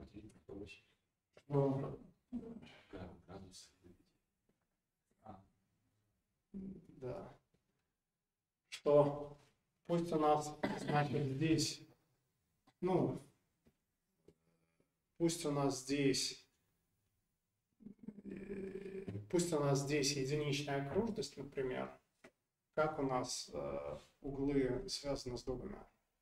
Точность. Точности равны, это есть точка в центре, да? А если она не в центре, а внутри окружности, Внутри. то угол, ну, типа, то угол это альфа плюс бета, альфа плюс бета пополам, да?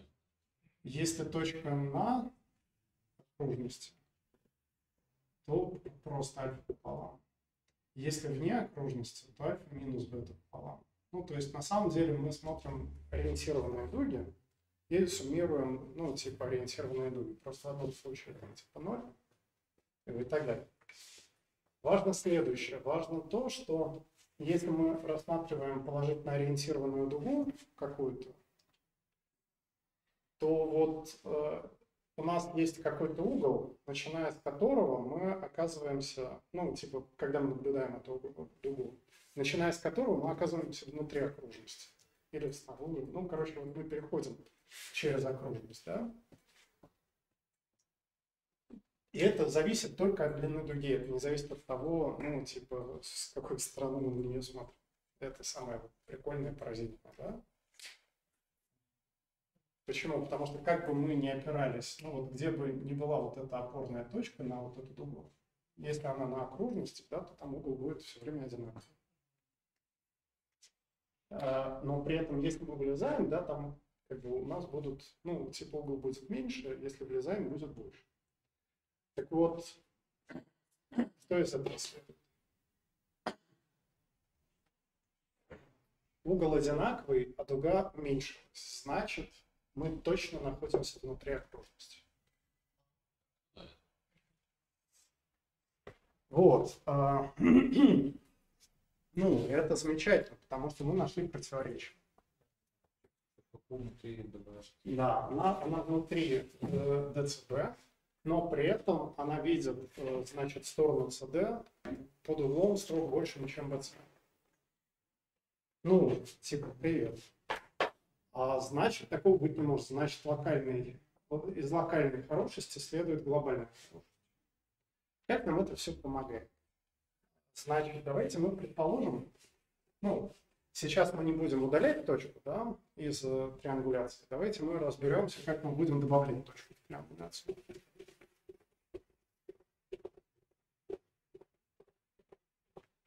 Эх, нам партия жить помогает. Так, Хоть мы сильно для утверждения доказали слишком быстро.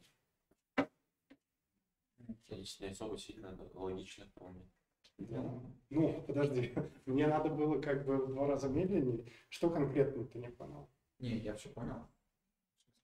Ну, Типа, типа, кажется, да, что если параллельно мыслить в 3D, то вроде понятно, и к чему это. Я, к сожалению, бы очень хотел избавиться от э, вот этой вот геометрии за девятый класс и понять, как можно было бы вот это утверждение переформулировать, ну, про, про, лока- про связь локальной и глобальной, да, переформулировать, э, значит, в терминах трехмерных оболочек. Научите меня, хорошо, но я пока не понимаю, как это сделать, потому что там э, с многогранниками в 3D, ну, очень сложно. Вот здесь это один из случаев, когда кажется проще осознавать, но опираясь вот на тот багаж как бы из девятого класса. Так, давайте мы вот что сделаем. Предположим, мы добавляем точку в триангуляцию. Давайте мы пока предположим, что точка, которую мы добавили, попадает внутрь какого-то конечного треугольника. Понятно, что есть бесконечные, но мы их рассмотрим позже. Типа, если точка вылетела за пределы выпуклой оболочки. Такое тоже бывает. Ну, я утверждаю следующее. Значит, мы разбиваем треугольник, в который попало Q, на три треугольничка. То есть было у нас АС. Сейчас, сейчас, секунду. Вопрос. Ну, получается, какой для этого локализационную структуру поддерживаем? Э, Мы поддерживаем локализационную структуру, но это вот как раз система сложной триангуляции Делане. Но перед тем, как к ней перейти, я хочу э, разъяснить, что мы будем делать. То есть вот мы локализовались как-то, а что дальше? А дальше будет очень просто и изящно. Я утверждаю, что ребра QA, QB и QC глобально хорошие.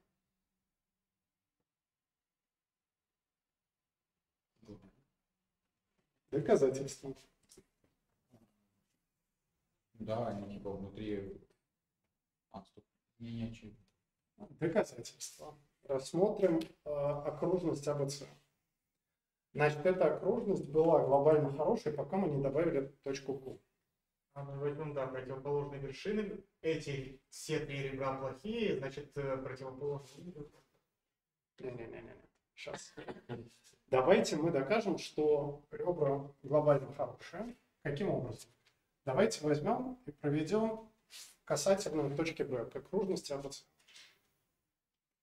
И проведем окружность с общей касательной в точке B, проходящей через точку Q. Ну, мы можем просто вот растить, растить, растить окружность так до тех пор, пока она не коснулась точки Q. Значит, мы предъявили окружность, внутри которой нет ни одной вершинки. Почему? Потому что эта окружность находится строго внутри окружности АБЦ. Ну, то же самое мы сделали вот для этих рядов. А, зашибись. Значит, э, что у нас? Так.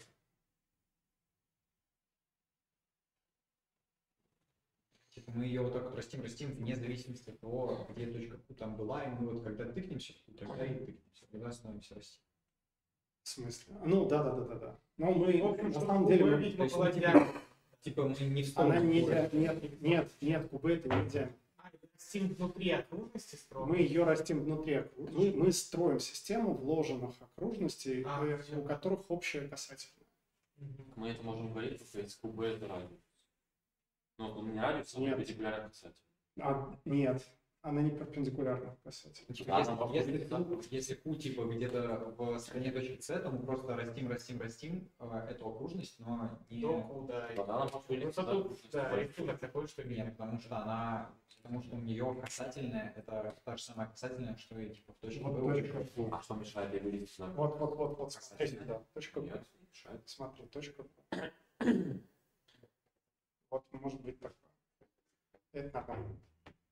Да, перпендикулярно. То есть, ну да, у тебя вот перпендикуляр касательный, Да, и растим ты, ты до идешь, идешь, идешь, пока окружность не коснулась. Окей, а что дальше? Вот дальше растим, она... Все, а дальше А я Вы нашли, да. Да, что вот это ребро, ты нашел окружность для ребра, внутри этой окружности нет ни одной вершины.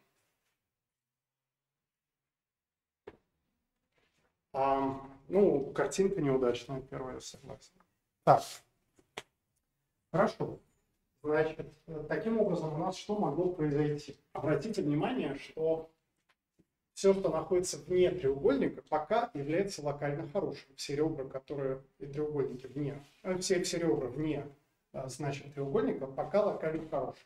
Таким образом, локально плохими могут быть только ребра, ну, как бы ребра этого треугольника АБЦ. А, Я утверждаю, что мы будем делать следующее. Мы будем групповать плохие ребра, противолежащие Q. То есть смотрим, есть плохое ребро, противолежащее Q, флипнем его. Появилось два новых ребра, потенциально плохих. Флипнем их.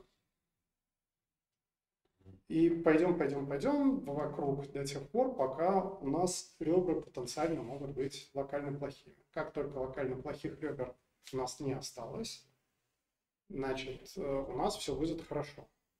Почему? Потому что все ребра вне, ну, звездного многоугольника, мы же понимаем, да, что вот эти флипы, которые мы делаем, они образуют какой-то звездный многоугольник. У нас в результате Q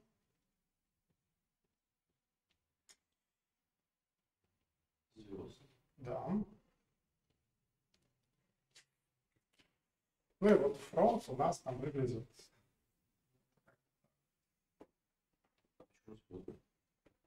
по, по определению. Потому что у тебя ребро к каждой вершине идет из точки Q.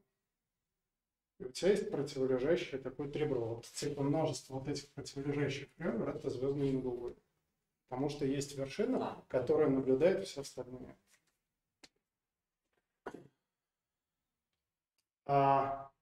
И смотрите, вот если эти ребра хорошие, все ребра, которые вне этого звездного многоугольника хорошие, все смежные тоже хорошие, сейчас докажу.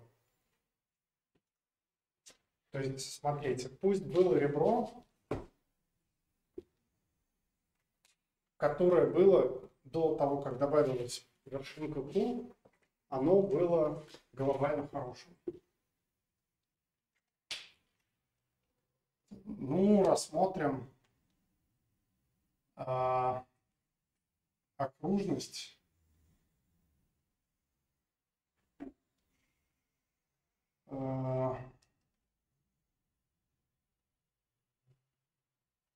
сейчас. Значит, э, да, э, оно было глобально хорошим, оно перестало быть хорошим.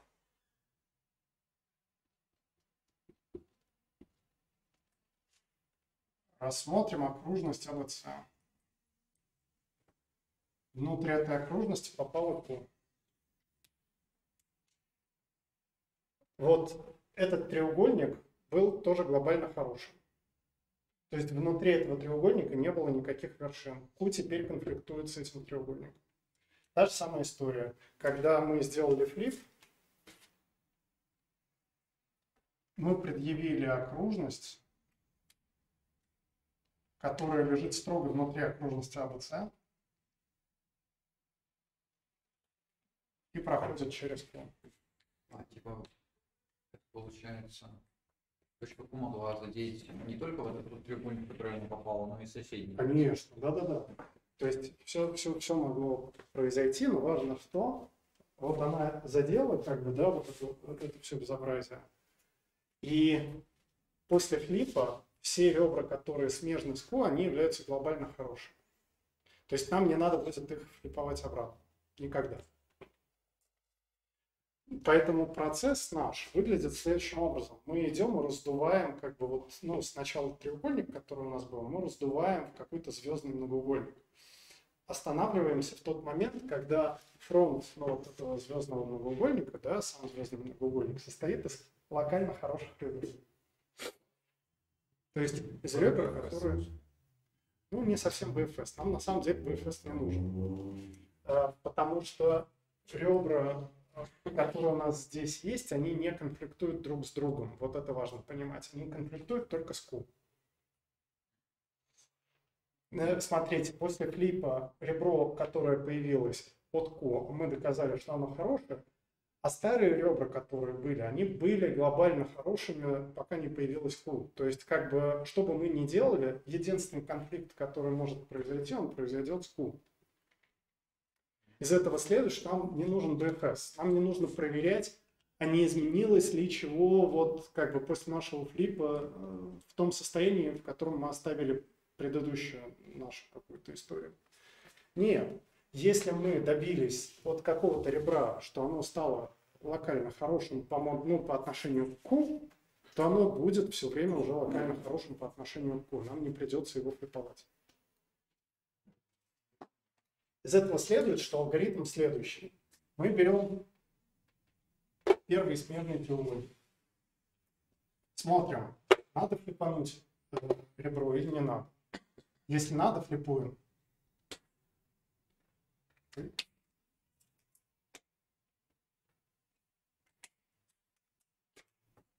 Получаем два новых треугольника. Ну, берем первый, опять как бы самое раннее. Надо флипануть ребро. Допустим, не надо. Переходим к следующему. Мы обсуждали, что мы можем крутиться около вершинки.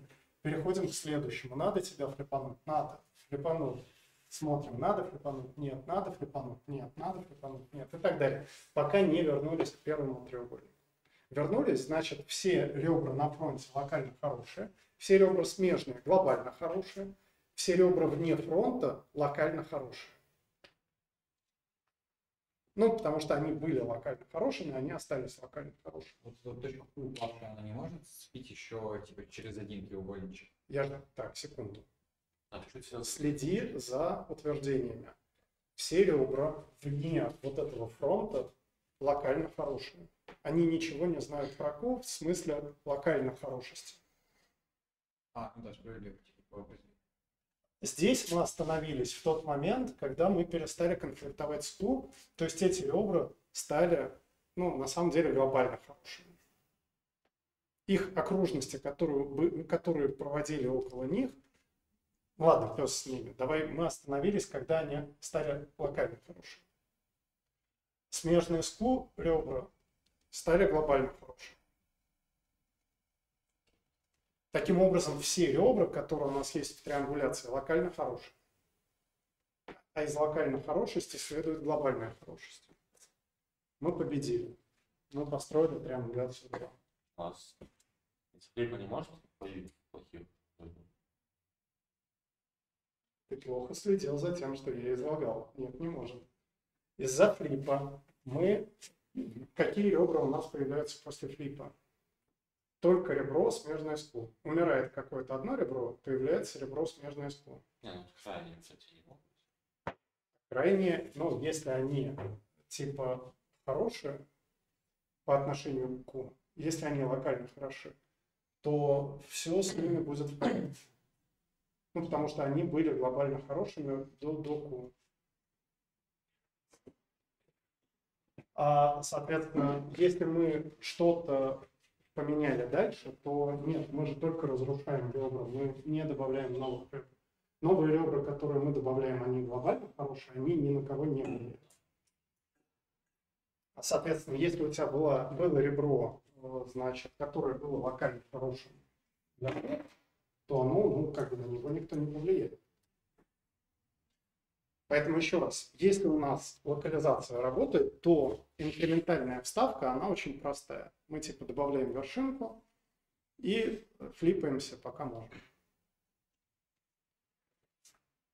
А, Давайте посмотрим, как эта инкрементальная вставка будет работать для бесконечного треугольника.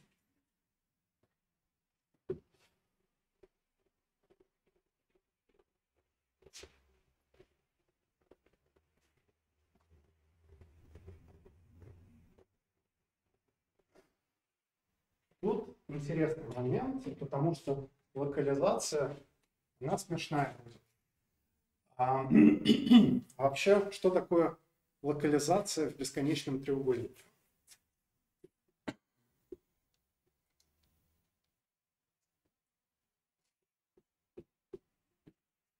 Вот у нас есть треугольник inf AB. А, точнее, inf BA.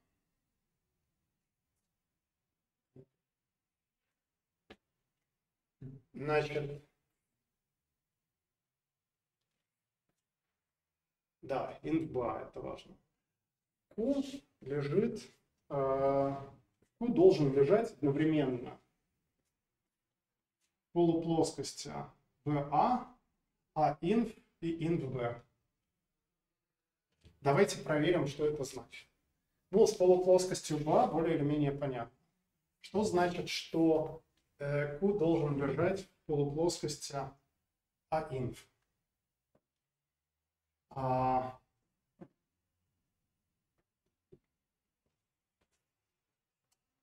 давайте AX, AY. А inf это 0, 0, 0. Помните, мы от z координаты избавились? Потому что управление же. М, Ну, было в z. Ну, мы его спроецировали вниз. И вот Нет, оно. ну, есть же. Или бесконечность, по-моему, направление. Или от прямые. А, Вот. И QX, QY. Один. Ну, нам нужно, чтобы эта история была бы больше или равна нулю. Ну, она внезапно равна нулю, нас устраивает. Ну и та же самая история ИНВ. То есть на самом деле э, Q может одновременно оказаться в нескольких треугольниках бесконечно. Это ломает мозг немножечко, но вот это так. А, то есть по факту локализация Q определяется тем, ну, типа, с какой стороны от полуплоскостей она находится. А, ну, неважно. Мы, допустим, договорились выбрать какой-то любой. Сейчас мы увидим, что нас это на самом деле не очень сильно беспокоит. А, да, давайте мы, ну, как бы мы договорились выбрать какой-то любой треугольник бесконечный, в котором оказалось Вот еще раз инфи.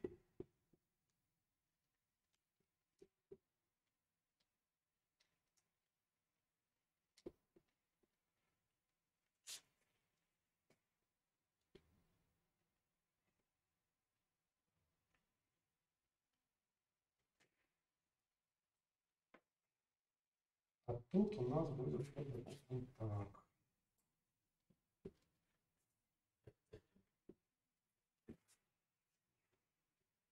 Давайте посмотрим, ну, что у нас произойдет. Да, у нас как бы появится ребро инф появится ребро QA и QB. Ребром АБ, ну, с флипом ребра АБ, ну, типа, будем разбираться, как с обычным конечным флипом, все нормально. А что у нас будет с флипом ребра инф или ребра АИНФ? Ну, для этого нам надо понять, а что будет, если мы подставим, э, что будет, если мы подставим э, c в определитель а инфу.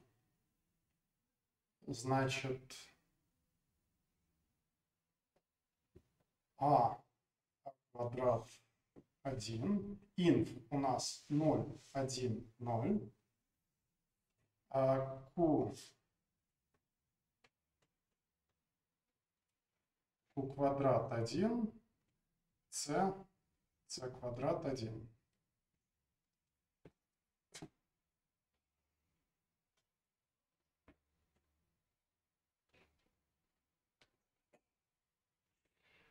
А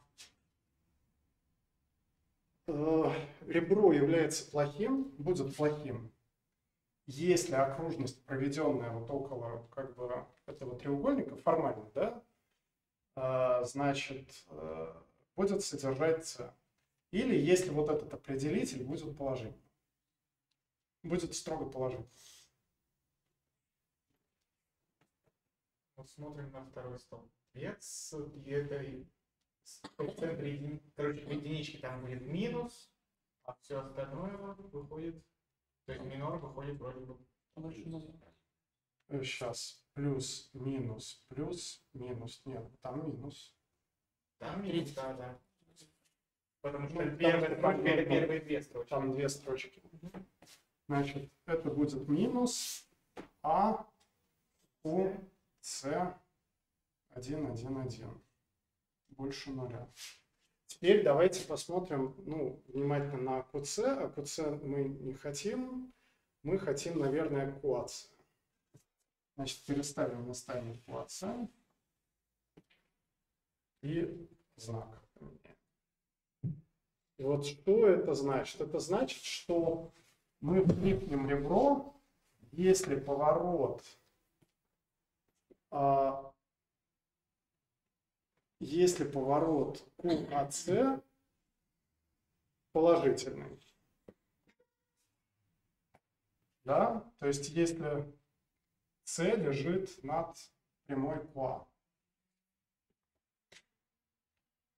Да? А, нет, стоп, секунду.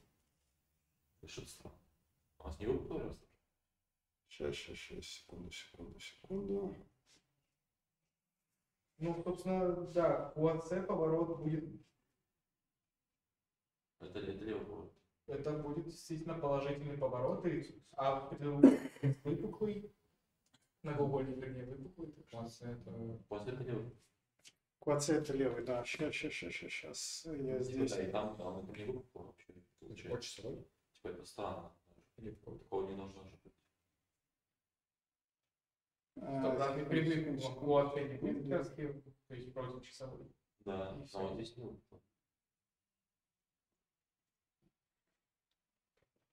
на рисунке я не вижу, почему плохо. Забейте. Короче, ладно.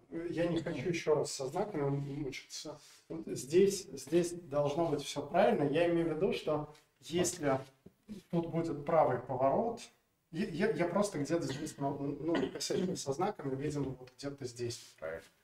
Но если будет правый поворот, то мы как раз должны будем флипнуть это ребро и куб довести до С. Ну, таким образом. То есть на самом деле, вот как бы при подстановке бесконечной точки вот в этот определитель, мы на самом деле получим, что это эквивалентно тому, что Q будет флипать вот эти бесконечные ребра до тех пор, пока э, как бы, ну, из Q мы не проведем касательные до нужных вершин. Ну, то есть, э, по сути, мы восстанавливаем выпуклую оболочку. Да, из Q. Ну, типа, Q, Q лежала вне выпуклой оболочки, вот мы проведем две касательные, чтобы из Q стала снова выпуклая оболочка. А все остальное окажется внутри. Это не будет что-то странное. У нас правый поворот. У нас как получается, что э, два треугольника, один внутри другого. В смысле? Нет, все хорошо. Нет, здесь левый поворот. Ну, здесь... И ну, на левом повороте как раз все хорошо. Не, это потому что это плохо нарисовано. У. А. С. Вот я хочу, чтобы э, я где-то, видимо, налажал со знаками. А? Ну, Мы хотим все-таки, чтобы... А, стоп, то есть, погодите, все правильно, все хорошо. Значит, А, я не налажал. С, С, да, да, да. С, С находится с э, хорошей стороны от КУА, а он дол- должен находиться с плохой стороны. Все, ты прав. То есть, э, ну, поэтому все нормально. Если выполняется вот такое условие, значит, мы должны кликнуть ребро. Все, значит, я не налажался. Так, все, здесь мы с этим разобрались, да? Э, то есть, как бы вот такая фейковая точка нам помогла на самом деле, ну, по-общему взглянуть на флип э, ребер в конечном и бесконечном случае. Это довольно любопытная история. Теперь давайте разберемся, как э, мы будем ой, искать нужный треугольник.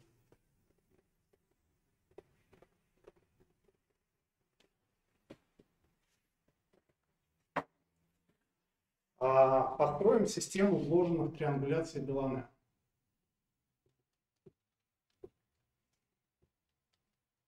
Значит,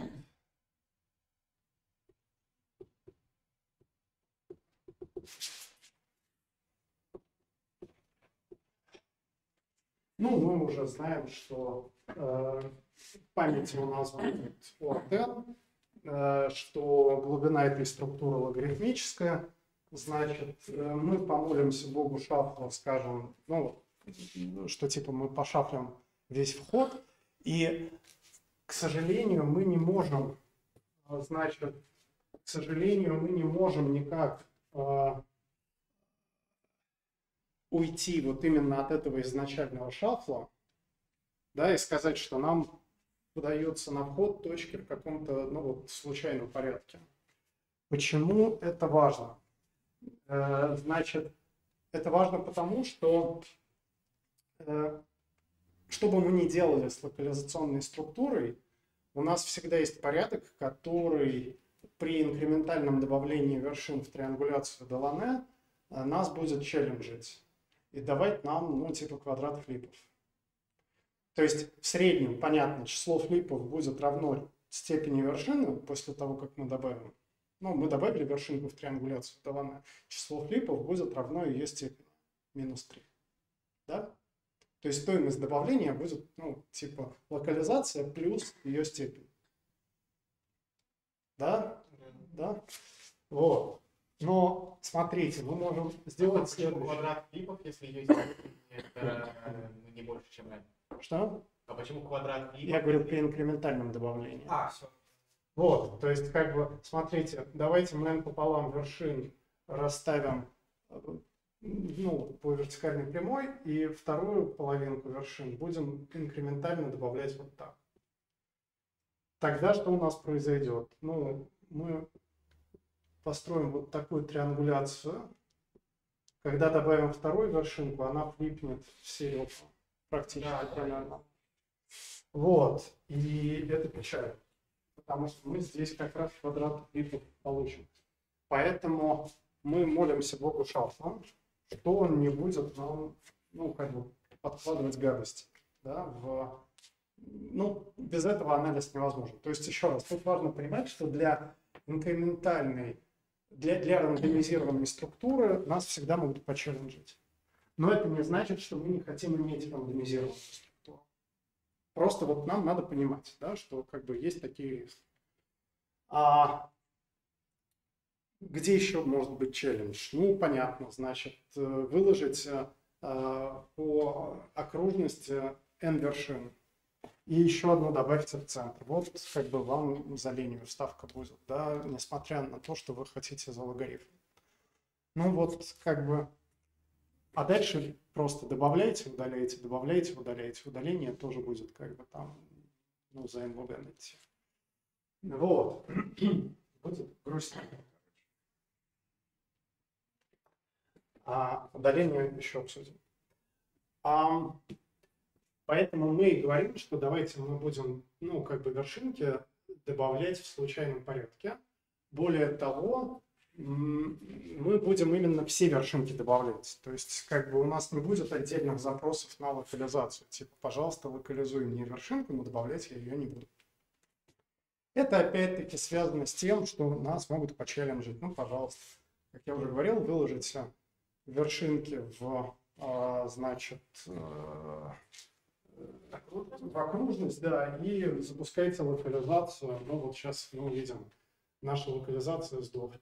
Как бы, да, ну, ну, как бы, если мы будем постоянно долбиться в центр. То есть, в общем, ограничения эти очень важно понимать. А, Но также важно понимать, что в среднем, ну, как бы алгоритм, который я сейчас изложу, он работает хорошо. То есть, а, если нас не челленджить по структуре самой триангуляции, то на самом деле э, рандомизаторы, которые нам делает вложенные, ну, как вот эту иерархию, типа skip Делане триангуляции, вот этого рандомизатора на практике хватает. Э, Как бы его невозможно почелленджить, потому что невозможно подобрать код, который бы, ну, э, как бы челленджил генератор случайных чисел. А, и это очень хорошая новость. Поэтому мы пользуемся шафом для, для анализа, но мы понимаем, какие ограничения он на нас накладывает, типа если его нет. Как бы, да, какие ограничения у нас появляются, если нет шафа. Но если мы говорим, что нас специально никто не будет расстраивать, и все будет типа хорошо, то мы можем как бы сделать вид, что поток, который к нам идет, шафлить не надо. Ну или придумать какие-то другие механизмы. Типа там накапливать, буферизовать данные, шафлить их и отправлять. Ну, как бы есть самые разные подходы. Но тут важно именно то, что как бы мы работаем с потоком, мы хотим работать с потоком, да, данных, команд. И у нас нет возможности, ну, типа, статично их обработать. Если бы мы хотели обрабатывать статично, мы бы построили оболочку. Вот. А, Хорошо. Алгоритм типа локализация. Значит, на последнем уровне у нас триангуляция Делана полная. На верхнем она состоит из вот единицы треугольничков. На верхнем уровне мы находим самую близкую вершинку к вершине Q.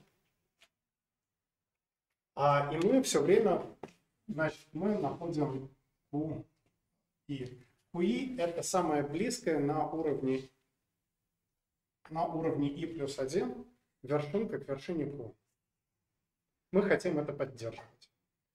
Значит, как спуститься от э, и плюс первого уровня к итому уровню? К итому уровню.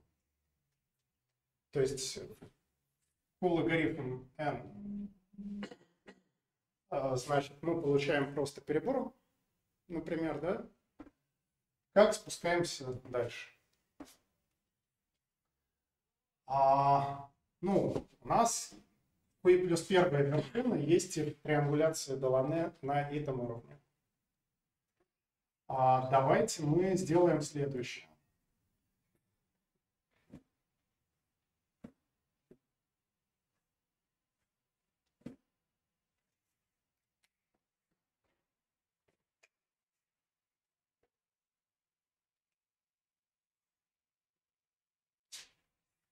Давайте мы найдем треугольник,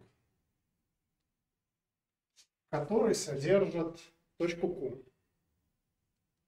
Как мы это сделаем? Э, мы возьмем точку Q плюс 1, напомню, вершину Q плюс 1, это мы рассматриваем триангуляцию Делане И. Она, напоминаю, есть на этом уровне. Значит, за степень этой вершины мы найдем а, треугольник, который пересекает отрезок Q плюс 1Q. Ну и дальше, в зависимости от того, с какой стороны от отрезка находится противолежащий угол, мы понимаем, через какой ребро мы выходим. Ну и так до тех пор, пока мы не пришли в какой-то треугольничек. Мы можем по пути пересечь еще какую-то вершинку. Ну, столкнуться с какой-то вершинкой. Тогда за степень этой вершины мы, ну, короче, мы повторим вот этот вот фокус. Да, за степень от этой вершины мы э, найдем треугольничек и так далее, и так далее. Понятно, да? Значит, мы нашли э, треугольник. Дальше. Мы ищем ближайшую вершинку в этом треугольнике. Ближайшую к И э, идем по соседям этого треугольника, по, по ребрам соседям. Как только мы нашли ребро, которое может уменьшить расстояние до Q, ну, нашли соседнюю вершинку, которая уменьшает расстояние до Q, мы переходим в нее. И так далее, пока мы можем уменьшить расстояние до Q. Сваливаемся в какой-то локальный минимум. Я утверждаю, что он является глобальным.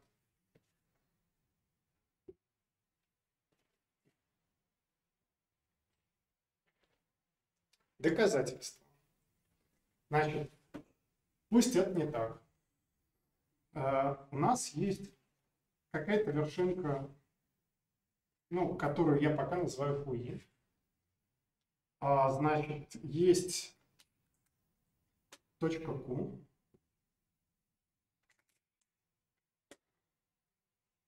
Есть окружность центром в Q с радиусом QQI. И пусть внутри этой окружности есть несколько кандидатов на то, чтобы быть ближе к Q, чем к QI. Но при этом эти кандидаты не соединены ребрами с QI. Кто догадывается, что я дальше сделаю? Уменьшить окружность? Нет. Я докажу, что есть ребро да, в одной из этих вершин. Как?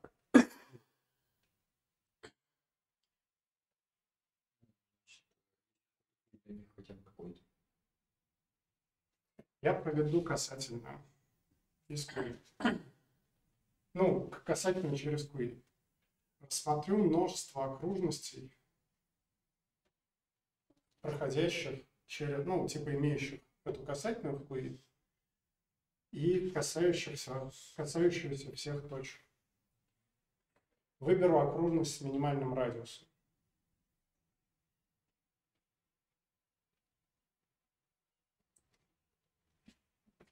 Получу глобально хорошее ребро, которое внутрь, э, такое что в окружности около этого ребра строго не на окружности, не внутри окружности, строго никого нет.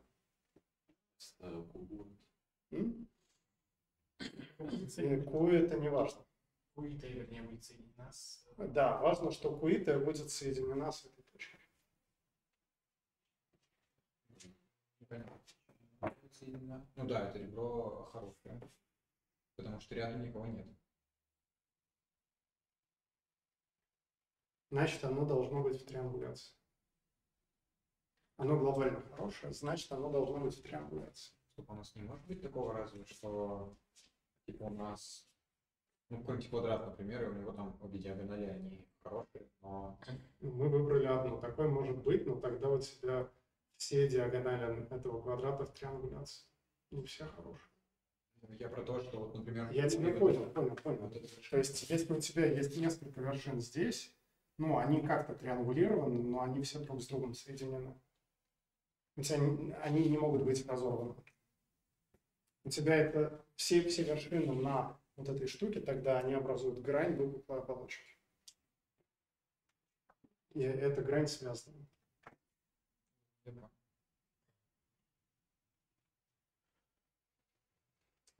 Вот, таким образом мы действительно можем путешествовать и приходить к локальному оптимуму. На самом деле мы могли не растеризовывать ребро по триангуляции.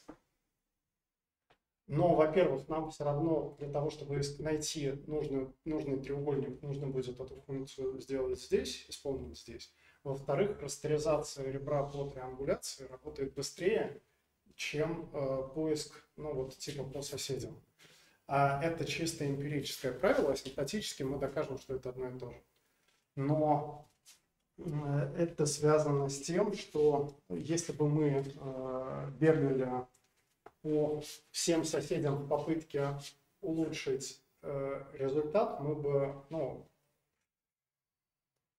а, мы бы щемились большее число вершин. Мы бы тестили большее число вершин, у нас было бы больше кашмисов. Значит, здесь считается, что в среднем мы эффективнее работаем так. То есть еще раз, сам поиск идет, то есть мы локализовались в каком-то треугольнике сначала, потом берем вершины этого треугольника и идем только в направлении уменьшения расстояния. Да, да. Вот, э, считается, что э, этот поиск сойдется супер быстро. Значит, э, я не могу этого доказать. Это, ну, как бы статья э, Оливера Девиллерса. Значит, Девиллера я, к сожалению, могу ошибаться в произношении. Э, Он э, researcher в институте Inria во Франции. Ну и вот он довольно большой вклад внес в вычислительную геометрию, в частности, вот как раз в триангуляцию Делана. А, итак, вопрос заключается в следующем теперь. Ну, то есть алгоритм, кажется, должен быть понятен. Да? Теперь вопрос заключается в чем? Вопрос заключается в том, а как его про- проанализировать. Ну да, окей, мы делаем алгоритм шагов. Но кто сказал, что на каждом уровне мы сделаем от единицы действий, что ожидаемое число действий будет от единицы? Ну, давайте попробуем это доказать. А нам надо проанализировать три вещи на самом деле. Вещь номер один. А, Значит, сколько, ну, какова будет степень вершины q плюс 1. Типа мат ожидания э, степени вершины q плюс 1. Это не очень очевидный вопрос, потому что вы бы могли мне сейчас сказать, что ну, средняя степень это 6, но почему на это нельзя ссылаться?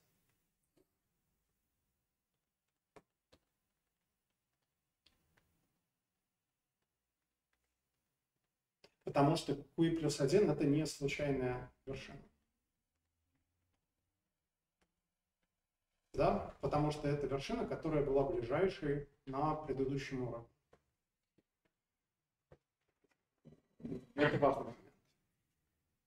Давайте мы осознаем, когда, что, э, собственно, с ней не так. Давайте рассмотрим предыдущий уровень. Вот у нас была какая-то, типа, было какое-то множество вершин. И наш любимый регрессионный анализ. Мы считаем, что мы на предыдущий уровень вставили вершину. Это такое допущение стрёмное, потому что на самом деле у нас есть уровень, начиная с которого мы не вставляем вершину. Но давайте мы предположим, что мы вершину вставили. А, и для нее, как бы, ну вот, была какая-то вершина типа ближайшая. Да? А, но помните, в чем прикол? Прикол в том, что мы э, как бы, вот мы сейчас вставляем все вершины и вот добавляем к множеству вставленных вершин вершинку Q. Но давайте мы пойдем типа от обратного. Вот мы вставили уже вершинку Q. А триангуляции не поменялись от порядка, в котором мы вставляем Q. Ближайшие не поменялись от порядка, в котором мы вставляем Q. Вопрос, что теперь, что любая из вставленных вершин в триангуляцию VTI плюс 1 могла быть последней. Да? Давайте проанализируем, попробуем вот проанализировать среднюю степень, исходя из этого.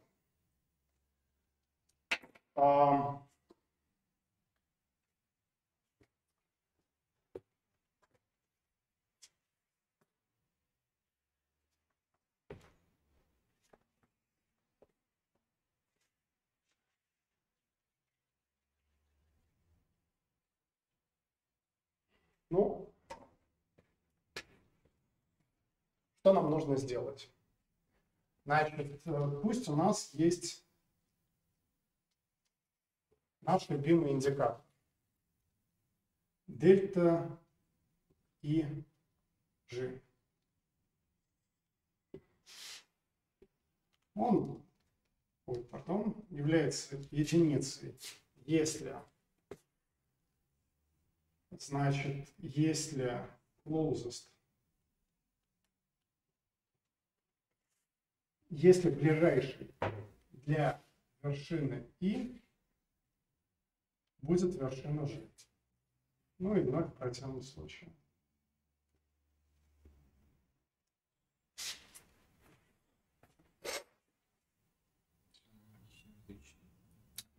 Он не симметричный. Это очень хорошее замечание. Что мы хотим сделать? Мы хотим значит, сделать следующее. Мы хотим сказать, давайте мы просуммируемся по всем вершинам И.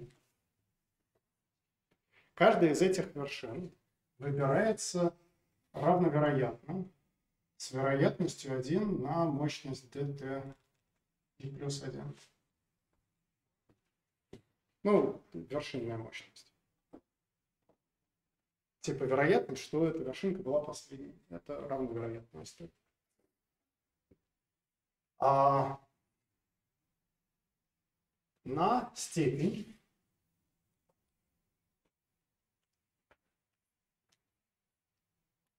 closest way, closest way.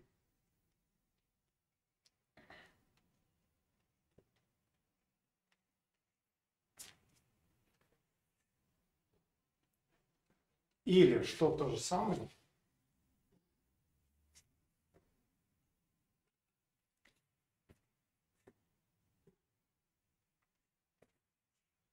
один на мощность dt и плюс 1, сумма по i, сумма по g, дельта и g, дек Вожи.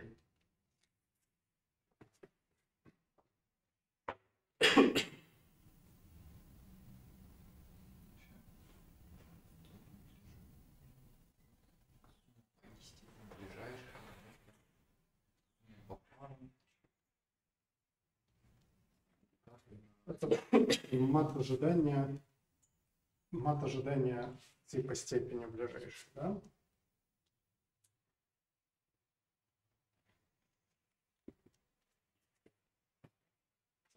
Так? Переставим и G местами. Суммах. Сумму мы можем поменять местами.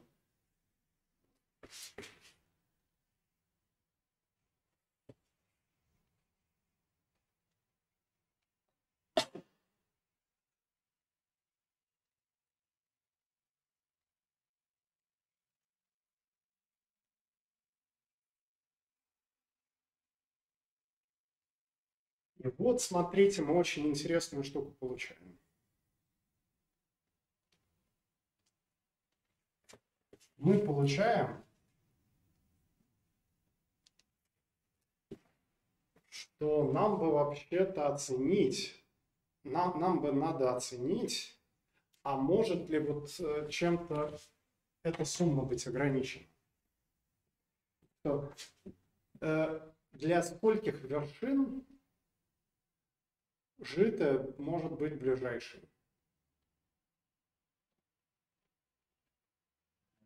Кажется, решетка до, до 3 плюс 1. Неправильно кажется. Ну, как одна вершина и все в округе. А, ой, наоборот, это наоборот. Да. Пятнадцать. А, сейчас для скольких вершин мы ближайшие? Мгм. Какая-то как константа как Да, это как константа. Чемодан. Давайте шесть. 6. Это правда. Да? Вот, конечно. Значит, давай предположим, что не 6. Значит, э, что из этого следует? Из этого следует, что э, ну вот у нас есть какая-то вершина VG, и есть вершинка А и Б, и угол при вершине ВИ меньше 60.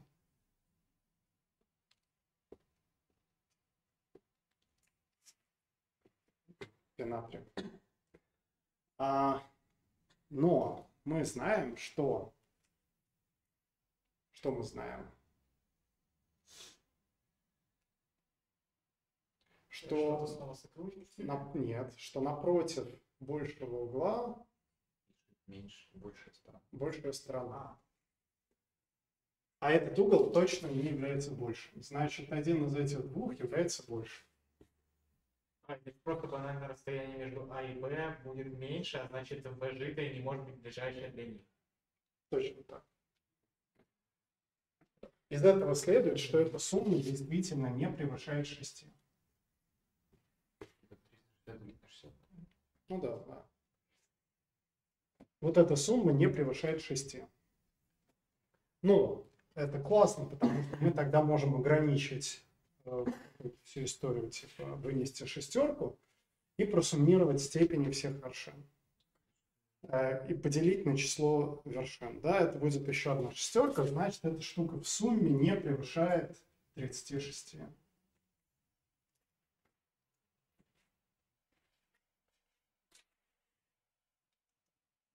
Тут, простите, я немножечко, ну, был неаккуратен. А, понятно, что здесь надо было сделать э, чуть более аккуратно. И я не знаю, заметили, не заметили, что А, триангуляции у меня разные, да, то есть как бы я, я мешал степени между разными триангуляциями, но это правится. То есть на самом деле как бы мы можем здесь еще ввести, э, понятно, значит, вот в этот индикатор ввести, значит, единичку, э, если, ну, как бы обе вершины лежат на самом деле на уровень выше, а степень, ну, как бы и перебирать все вершины из нижней триангуляции, из этой триангуляции. Вот, но как бы все равно. Ну, типа, вот это, это все равно сильная граница. Вот. Так. То есть с первым мы разобрались. Да? Степень не превышает 36. Ну, типа мат ожидания степени не превышает 36. Давайте дальше. Дальше, значит, нам надо посчитать число ребер, которые пересек отрезок. И тут нам как бы надо оценить две вещи.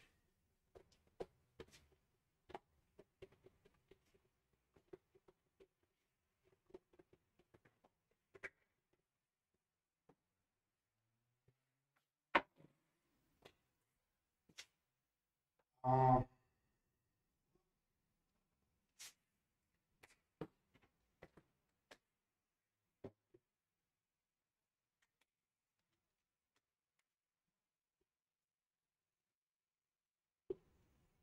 Значит, мы э, должны оценить две вещи. Первое. Ребра, которые пересекают отрезок Q плюс 1Q, они бывают двух видов. Они, их вершины лежат вне окружности, или их эндпоинты лежат внутри окружности.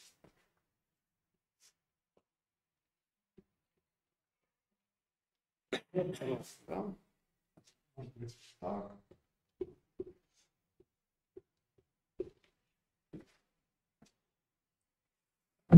Значит, нам надо оценить на самом деле их отдельно. А нам хочется, да, понятно, что число ребер внутри, которые, э, значит, начинаются внутри окружности, начинаются, заканчиваются внутри окружности, или только начинаются, ну, короче, у которых хотя бы одна вершина лежит внутри окружности, э, их число оценивается числом, а, ну, типа суммарной степенью вершин, которые лежат внутри окружности. Это понятно, да? Значит, а, то есть, типа, нам надо посмотреть суммарную степень. А вот э, сколько будет ребер, которые пересекают окружность? Вот это более интересный вопрос. На самом деле их будет не так много. Почему? Потому что давайте мы рассмотрим касательно к точке QI плюс 1 ребро, проведенное в Q, то есть мы вставим в эту триангуляцию точку Q. А, и мы поймем, что вот эти ребра, которые мы пересекли, они пересекут меньшую окружность. То есть ребро QI плюс 1Q будет лучше, чем те ребра, которые его пересекают сейчас потому что ну, для вот этой окружности э, как бы будет локальная хорошесть. Вот это ребро будет локально лучше, чем ребро, которое его пересечет. Значит, эти ребра точно будут флипнуты. Их точно не будет в результирующей триангуляции. Это важное утверждение. Из этого следует, что э, число ребер, которые мы пересечем, вот именно таких ребер, оно не будет превышать степени вершины Q после вставки. Ну, степени минус 3. Ну, ладно. Средняя степень все равно 6.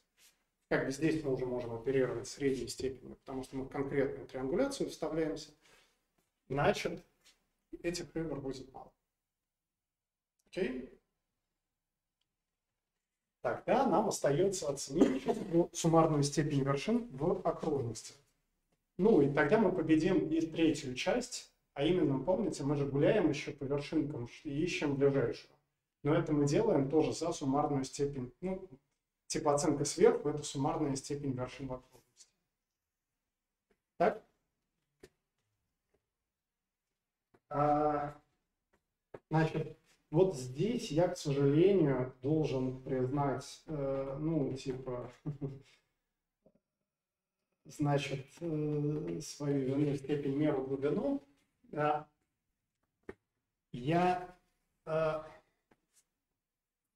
как бы, я не очень понимаю, значит, я расскажу доказательства, которые есть в статье Девиллерс, но я не понимаю, почему а, к сожалению, я не понимаю, почему он э, вот, э, извращался таким образом. То есть, ну, вы сейчас все увидите. Там есть, есть вопрос, типа, зачем так сложно? А, я на него не умею отвечать. То есть, типа, недостаток, который есть в более простом подходе, он ну, абсолютно такой же, как и в сложном, кажется, похожий на такой же, как и в сложном. Общем, ладно. Значит, что нам нужно для того, чтобы посчитать среднюю степень вершин, которые попали в?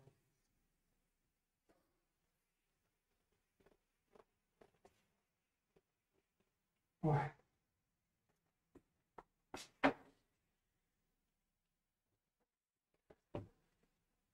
А,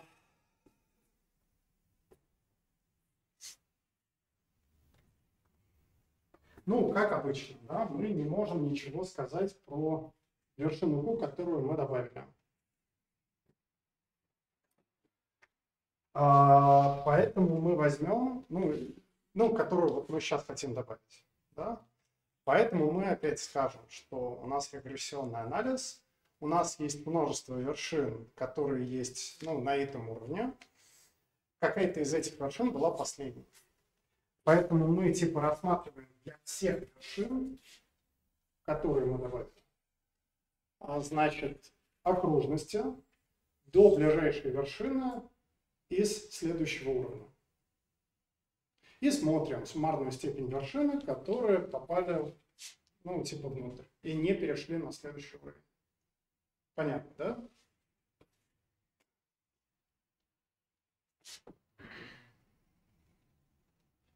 То есть вот это типа последний, ну это э, как бы последняя вершина, но вот. И это типа U и плюс первое. Внутри, ну, типа, давайте мы ее обзовем красненькой вершиной. Вот красненькие вершины – это вершины C плюс первого уровня, черненькие вершинки – это вершинки среднего уровня.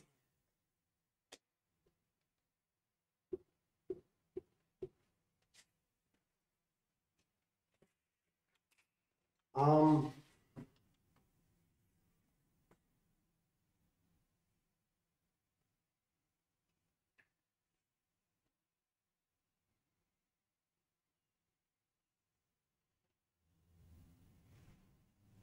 да.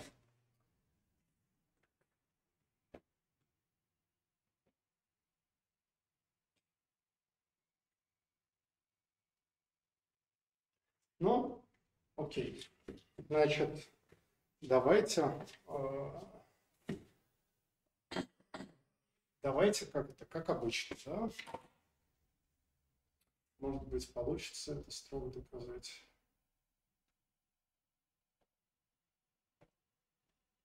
Сейчас, дайте, извините, дайте мне.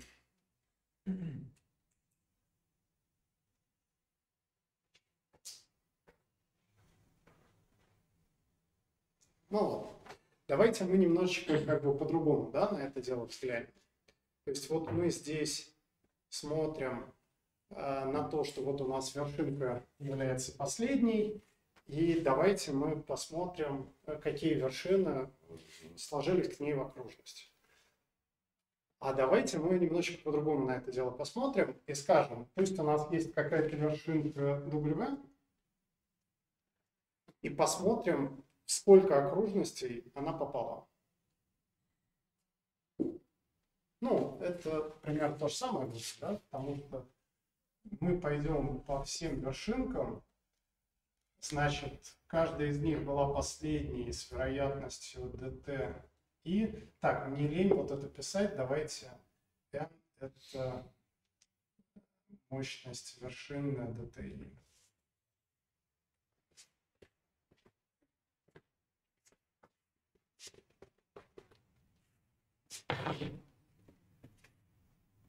С вероятностью 1 n, значит, вершина была последней.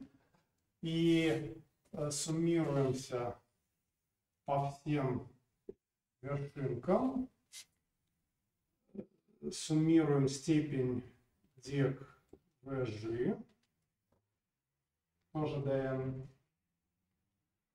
А, значит, в случае, если а дельта и g.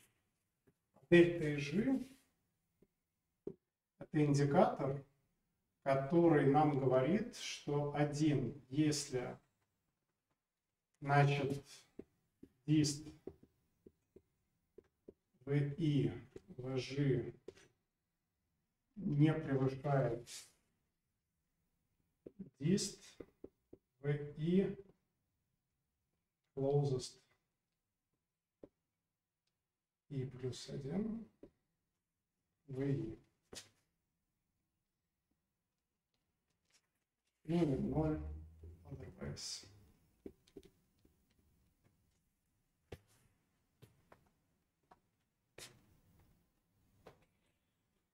То есть вот э, как бы мы ну, накидали такую формулу. Мы для каждой вершинки можем узнать ближайшую на уровень выше.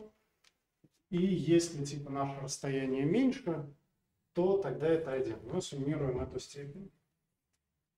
Ну и как бы как, как это обычно бывает, мы можем сказать, давайте мы возьмем, поменяем местами слагаемые. А, да, ну, сумма. И скажем, что это одна n сумма по g.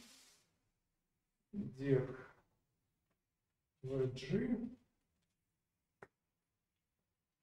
Сумма по i. Дельта и g. Таким образом, если мы для каждой вершинки VG оценим сколько, сколько э, окружности она попала, ну, типа, каково, каково ожидаемое число, э, значит, каково ожидаемое число э, окружностей, в которые попадет эта вершинка, и оно будет, ну, вот каким-то, типа, константным, да, но оно, кажется, не зависит от G, то тогда мы скажем, что, типа, это тоже константа. Потому что тут появится сумма степеней, э, ну, типа констант вынесется, тут будет сумма степеней, поделенная на это. Ну, это будет 6. Так? А, ну, кажется, наверное, я понимаю, почему. Ладно, странно. Я, по-моему, и по-другому, но не важно. Давайте теперь вот возьмем эту вершинку и поймем, сколько окружностей она залезает. Ну, типа, возьмем случайно, ну, как бы возьмем какую-то вершинку, любую, прожитую. И рассмотрим, сколько окружностей, можем ли мы как-то ограничить число окружностей, в которых она залезает, в которые она залезает. Давайте рассечем плоскость на 6 частей, на 6 секторов. Давайте рассмотрим какой-то сектор и проставим точечки в порядке увеличения расстояния до VG. Ну, рассмотрим все точки, которые туда попали, и посортируем их по расстоянию. Значит, есть черные точки, есть красные точки. Я утверждаю следующее, что черные точки Э, которые находятся дальше первой красной точки, нас не интересует. Вот типа для этих черных точек, ну, мы типа от тех черных точек начинаем окружность какую-то, да, мы от каждой черной точки пытаемся запустить окружность и упереть ее в ближайшую красную. Вот для этих окружностей VG уже как бы в эти окружности не влезет. Ну, Почему?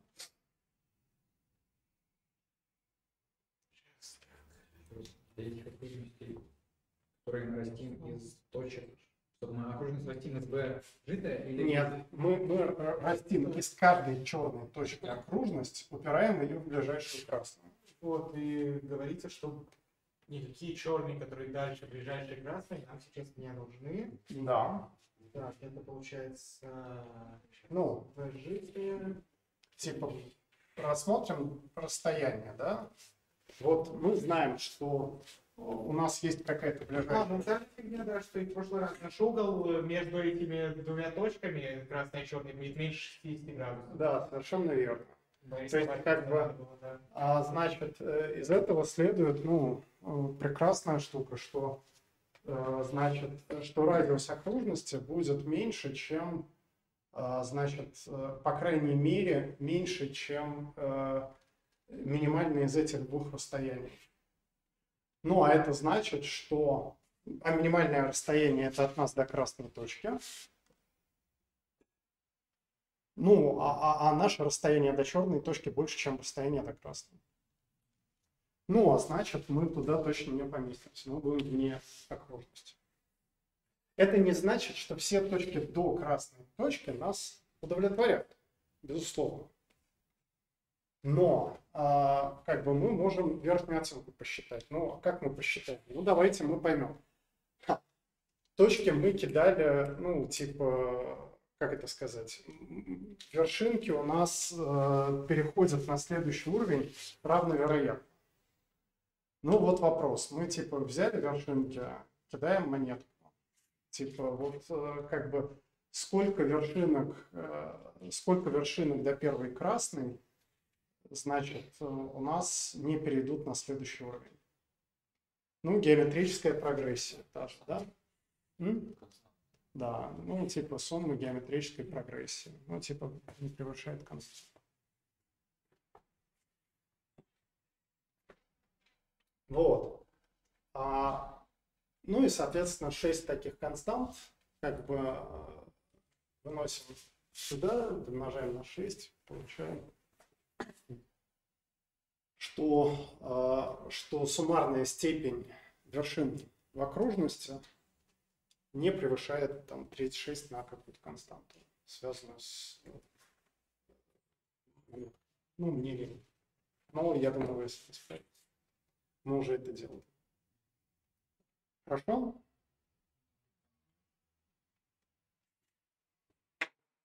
Так. Это последняя сейчас будет тема с триангуляцией Делане. А, и мы перейдем к диаграмме Воронова уже после перерыва. Если вы еще не поняли, да? Сложно? Блин. Ну, давайте сейчас мы сделаем тогда два усилия и разбежимся. Значит, одно усилие – это как мы будем удалять, удалять точку. То есть с добавлением точки мы разобрались. Что с удалением? Так, ну, я разворачиваю Разворачивать процесс – это очень хорошая идея. К сожалению, э, значит, в отличие от э, добавления, когда мы могли э, разрушать грани в любом порядке, ну, практически. А, ну, да, понять, какой, в каком именно порядке Филиппа Терека, который из нас... Совершенно верно. Но мы можем сделать очень классную вещь на самом деле. Давайте мы вспомним, ну, точнее не вспомним, мы узнаем про такую штуку, как э, shell sort. Ну, ну, ну не, не, не тот sort, про который вы думали, а значит shell sort ordering, наверное, как правильно. Короче, пусть у нас есть какой-то выпуклый многогранник, я еще не изображу.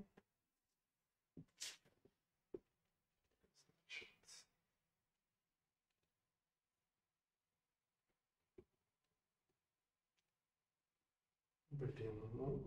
Короче, есть выпуклый многогранник. Давайте мы рассмотрим какую-то произвольную прямую, которая пересекает этот многогранник.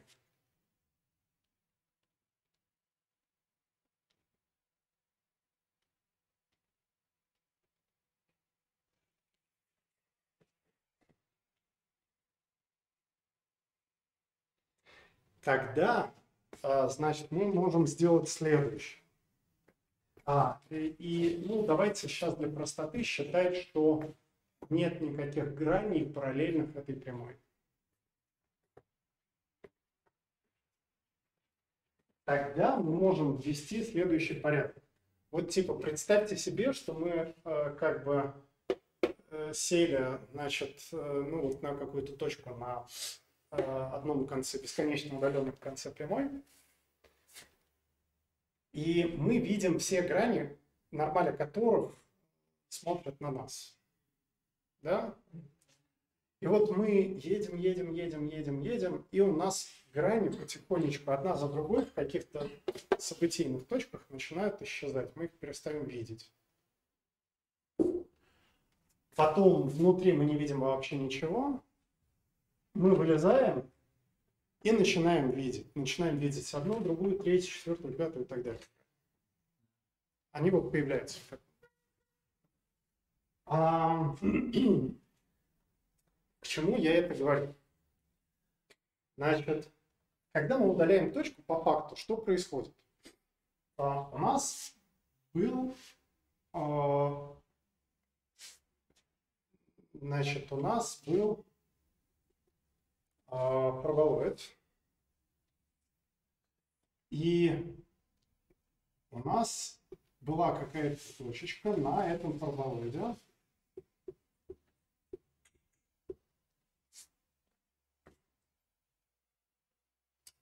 Но когда мы ее удалили,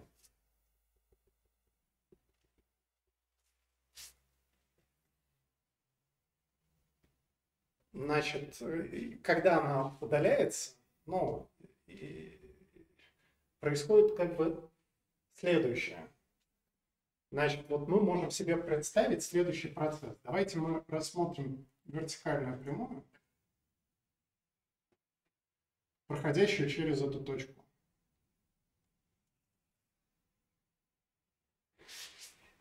И смотрите, вот давайте мы останемся пока на этой точке, удалим все, ну, типа удалим точку из выпуклой оболочки мысленно. И посмотрим на грани, которые получились после удаления. Вот эти грани, они все нам видны. Так? А больше ничего нам не видно а нам видны грани, которые образовались после удаления точки. Вообще выгнутый такой, так что мы там с другой стороны видим? Нет, мы с другой ничего не видим, потому что все, что мы видели из этой точки, мы как бы до этого дотянулись. Ну, типа, у нас горизонт из этой точки виден абсолютно четко. Вот этот горизонт, а, если говорить в терминах триангуляции Делане, то вот у нас есть вершинка, вот у нас есть, помните, я в самом начале говорил про, э, про звездный многоугольник. После удаления вершинки ничего вне этого звездного многоугольника не меняется. Это горизонт. Типа в плане выпуклой оболочки, вот из этой, из этой точки все остальные грани не видны до удаления, и тем более после. Это надо понимать. Как только мы удалили эту точку, а, те ребра не перестали быть глобально хорошими. Эти ребра не перестали быть глобально хорошими. То есть нам надо как-то вот типа перетриангулировать звездный многоугольник так, чтобы ребра были локально хорошими. Но если мы не будем трогать внешнюю границу многоугольника звездного, то нам беспокоиться о внешней триангуляции не надо. Значит, таким образом, нам надо думать о том, что у нас происходит с гранями внутри ну, внутри вот этого сектора, который мы наблюдаем. Теперь смотрите. Вот мы мысленно начинаем точечку поднимать вертикально вверх. И у нас опять исчезает одна грань, другая грань, третья грань, потом хоп, мы сели на треугольник. Ну, это последняя грань, которую мы увидели. Так? Ну вот давайте мы как раз и будем удалять уши из нашего звездного многоугольника в порядке, в котором они будут исчезать в shell ордеринге. То есть у нас есть какая-то вершинка, а, типа А. Это У. Это В и С. Так, я чувствую, что у нас проблемы будут с порядком.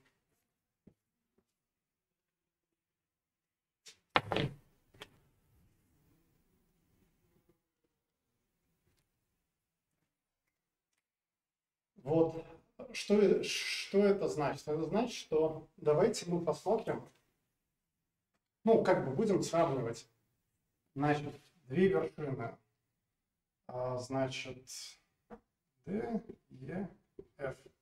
Ой, F.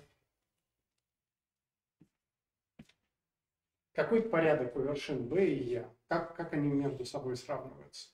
Ну, очень просто. Мы знаем, как плоскость проводится, значит, э, по трем вершинам. А, значит, А, А квадрат 1, Б, Б квадрат 1, С, С квадрат 1, X, Y. Но мы знаем, чему равны X, Y. Да, это Q. Правда? Мы потому что хотим получить точку на вертикальной прямой. Q, Z, мы не знаем, чему равен Z. Мы не знаем, какой точке пересечется плоскость с вот этой прямой. 1. Это для ABC. И для DEF та же самая история. Почему не знаем, разве не в точке? Да с хрена? Нет, мы же говорим про новое. Мы говорим, где пересечется вот Да. этот треугольник. Ну, типа вот эта грань. Это значит E квадрат F квадрат Z 1, 1, 1. Нам надо сравнить Z. Типа у кого Z больше. Ну, давайте раскроем. Значит, эта штука равняется Значит,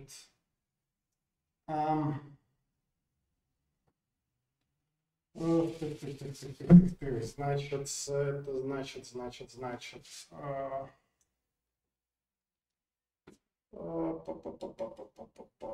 давайте мы вот так сделаем. Значит, типа коэффициенты перед Z хотим посмотреть. да, давай- давайте так сделаем. Значит, тут будет q квадрат плюс z. Или q квадрат минус z. q квадрат минус z. Тогда эта штука будет равна значит а, б, с, q, а квадрат, b квадрат, с квадрат, q квадрат. Так, тут минус, нет, плюс. Э, Плюс. Значит, 1, 1, 1, 1. А,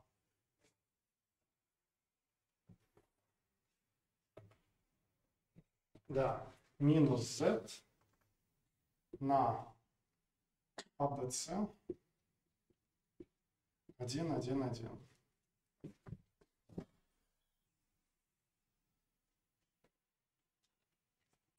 Следовательно, z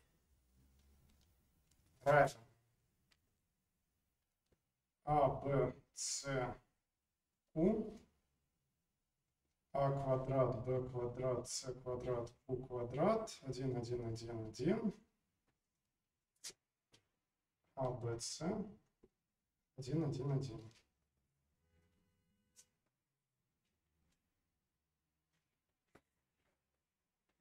Сейчас мы сначала по линейности его раздали, а потом... Попробуй еще как-нибудь. Да? А Сначала мы по линейности на, на сумму из двух потом мы что сделали? В смысле, ну, мы по линейности разбили на, э, значит, 0, 0, z. Ну, и типа... А, да, раскрыли. Да, получается, таким образом мы то, что при z, он, ну, как бы вычеркивается строка столбец.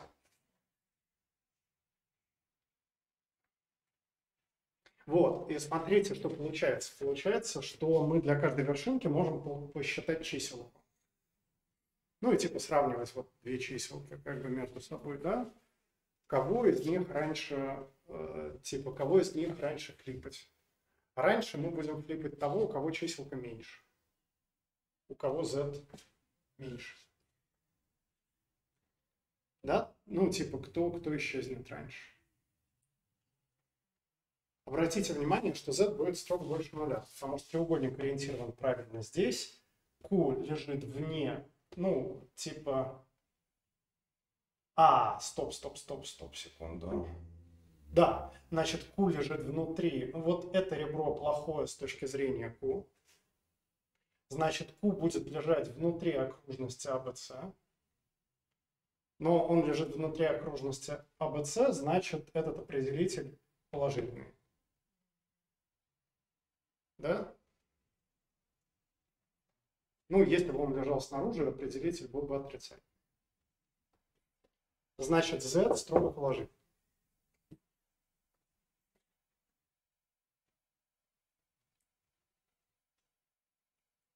Ну, и это логично, потому что из Q, типа PZ равно нулю, видны все как бы грани, да, которые у нас образуются. Вот, и поэтому мы начинаем убивать грани в порядке, в котором, ну, они исчезают, типа начиная с меньшего z. Как мы убиваем? Ну, флипуем, понятно, ребро, типа, флипуем ребро. Ну, что нам для этого надо делать? Ну, понятно, нам надо все э, вершинки, все выпуклые вершинки положить в priority queue.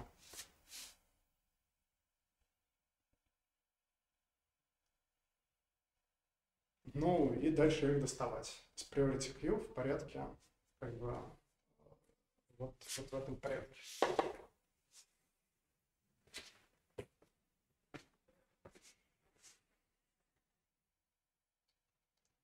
Так. Эм...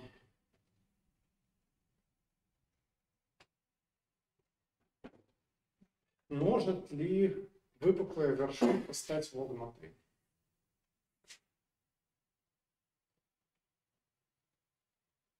После флипов.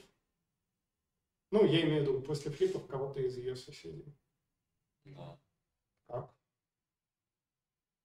Нет, кажется. То есть, если она была выпуклая, а при флипе То сосед... есть А, а, флип соседа взял и сделал ребро как плохим. Это что-то... Да. ну, Ну, по-моему, тоже не может. Вот. Ну, я сейчас уже тоже. Вот. а, окей. То есть, короче, ну, схема очень простая. Значит, а при этом, ну, понятно, вершинка может стать выпуклой, даже если она не была. Ну, надо поддерживать выпуклость для вершин. А вот все тогда, значит, с удалением, но удаление работает, получается, за колок К, где какая-то степень вершин. Так, все, последнее усилие. Типа задача. Э, Я не помню, мы, если вы мне скажете, что мы ее уже обсуждали. Значит, есть множество точек а, на плоскости. Как найти пару наиболее удаленных?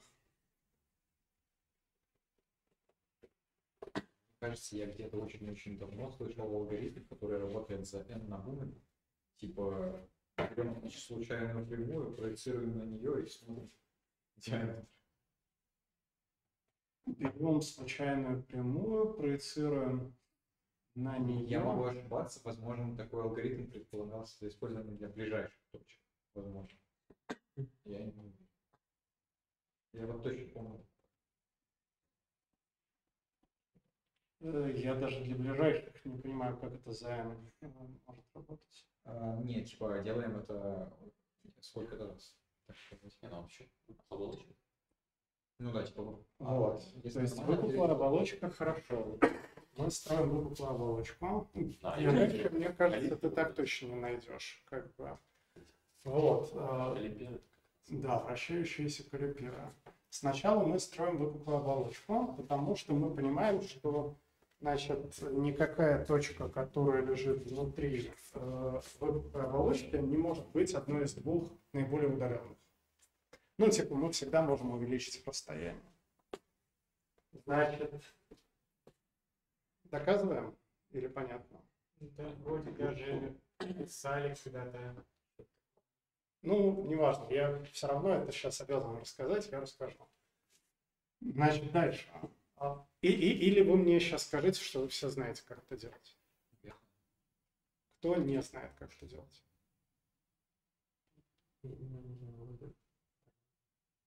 Если понятно, расскажи.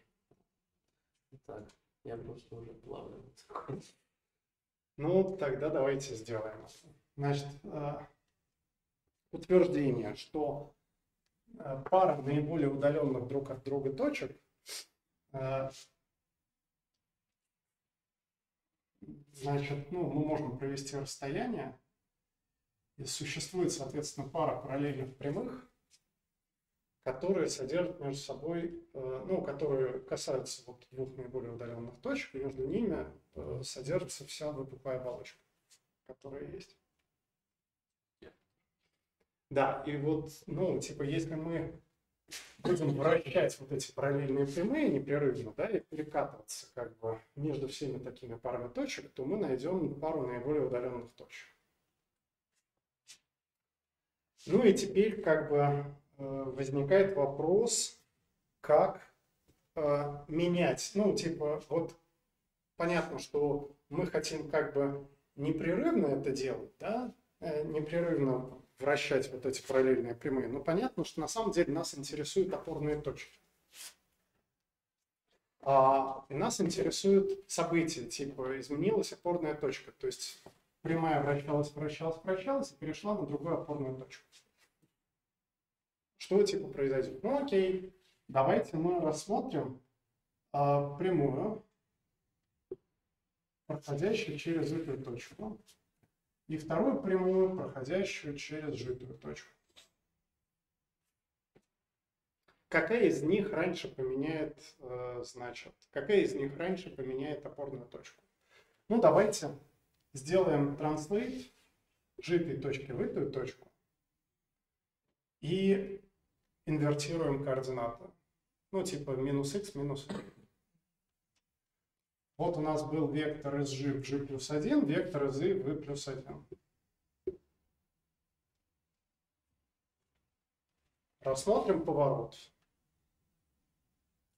Ну, нам, грубо говоря, нужно понять, у кого будет, извините, тангенс, ну, типа тангенс меньше. Да? Но мы, конечно, не тангенс будем смотреть, а будем смотреть поворот. У кого, ну, типа, относительно точки И двух отложенных векторов.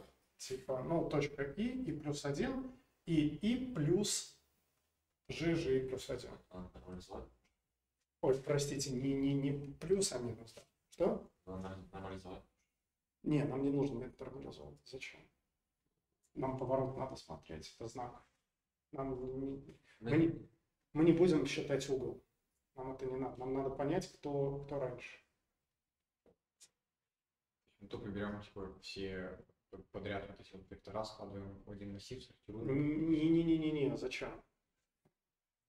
Вот у нас есть выпуклый, ну, как бы выпуклый многоугольник.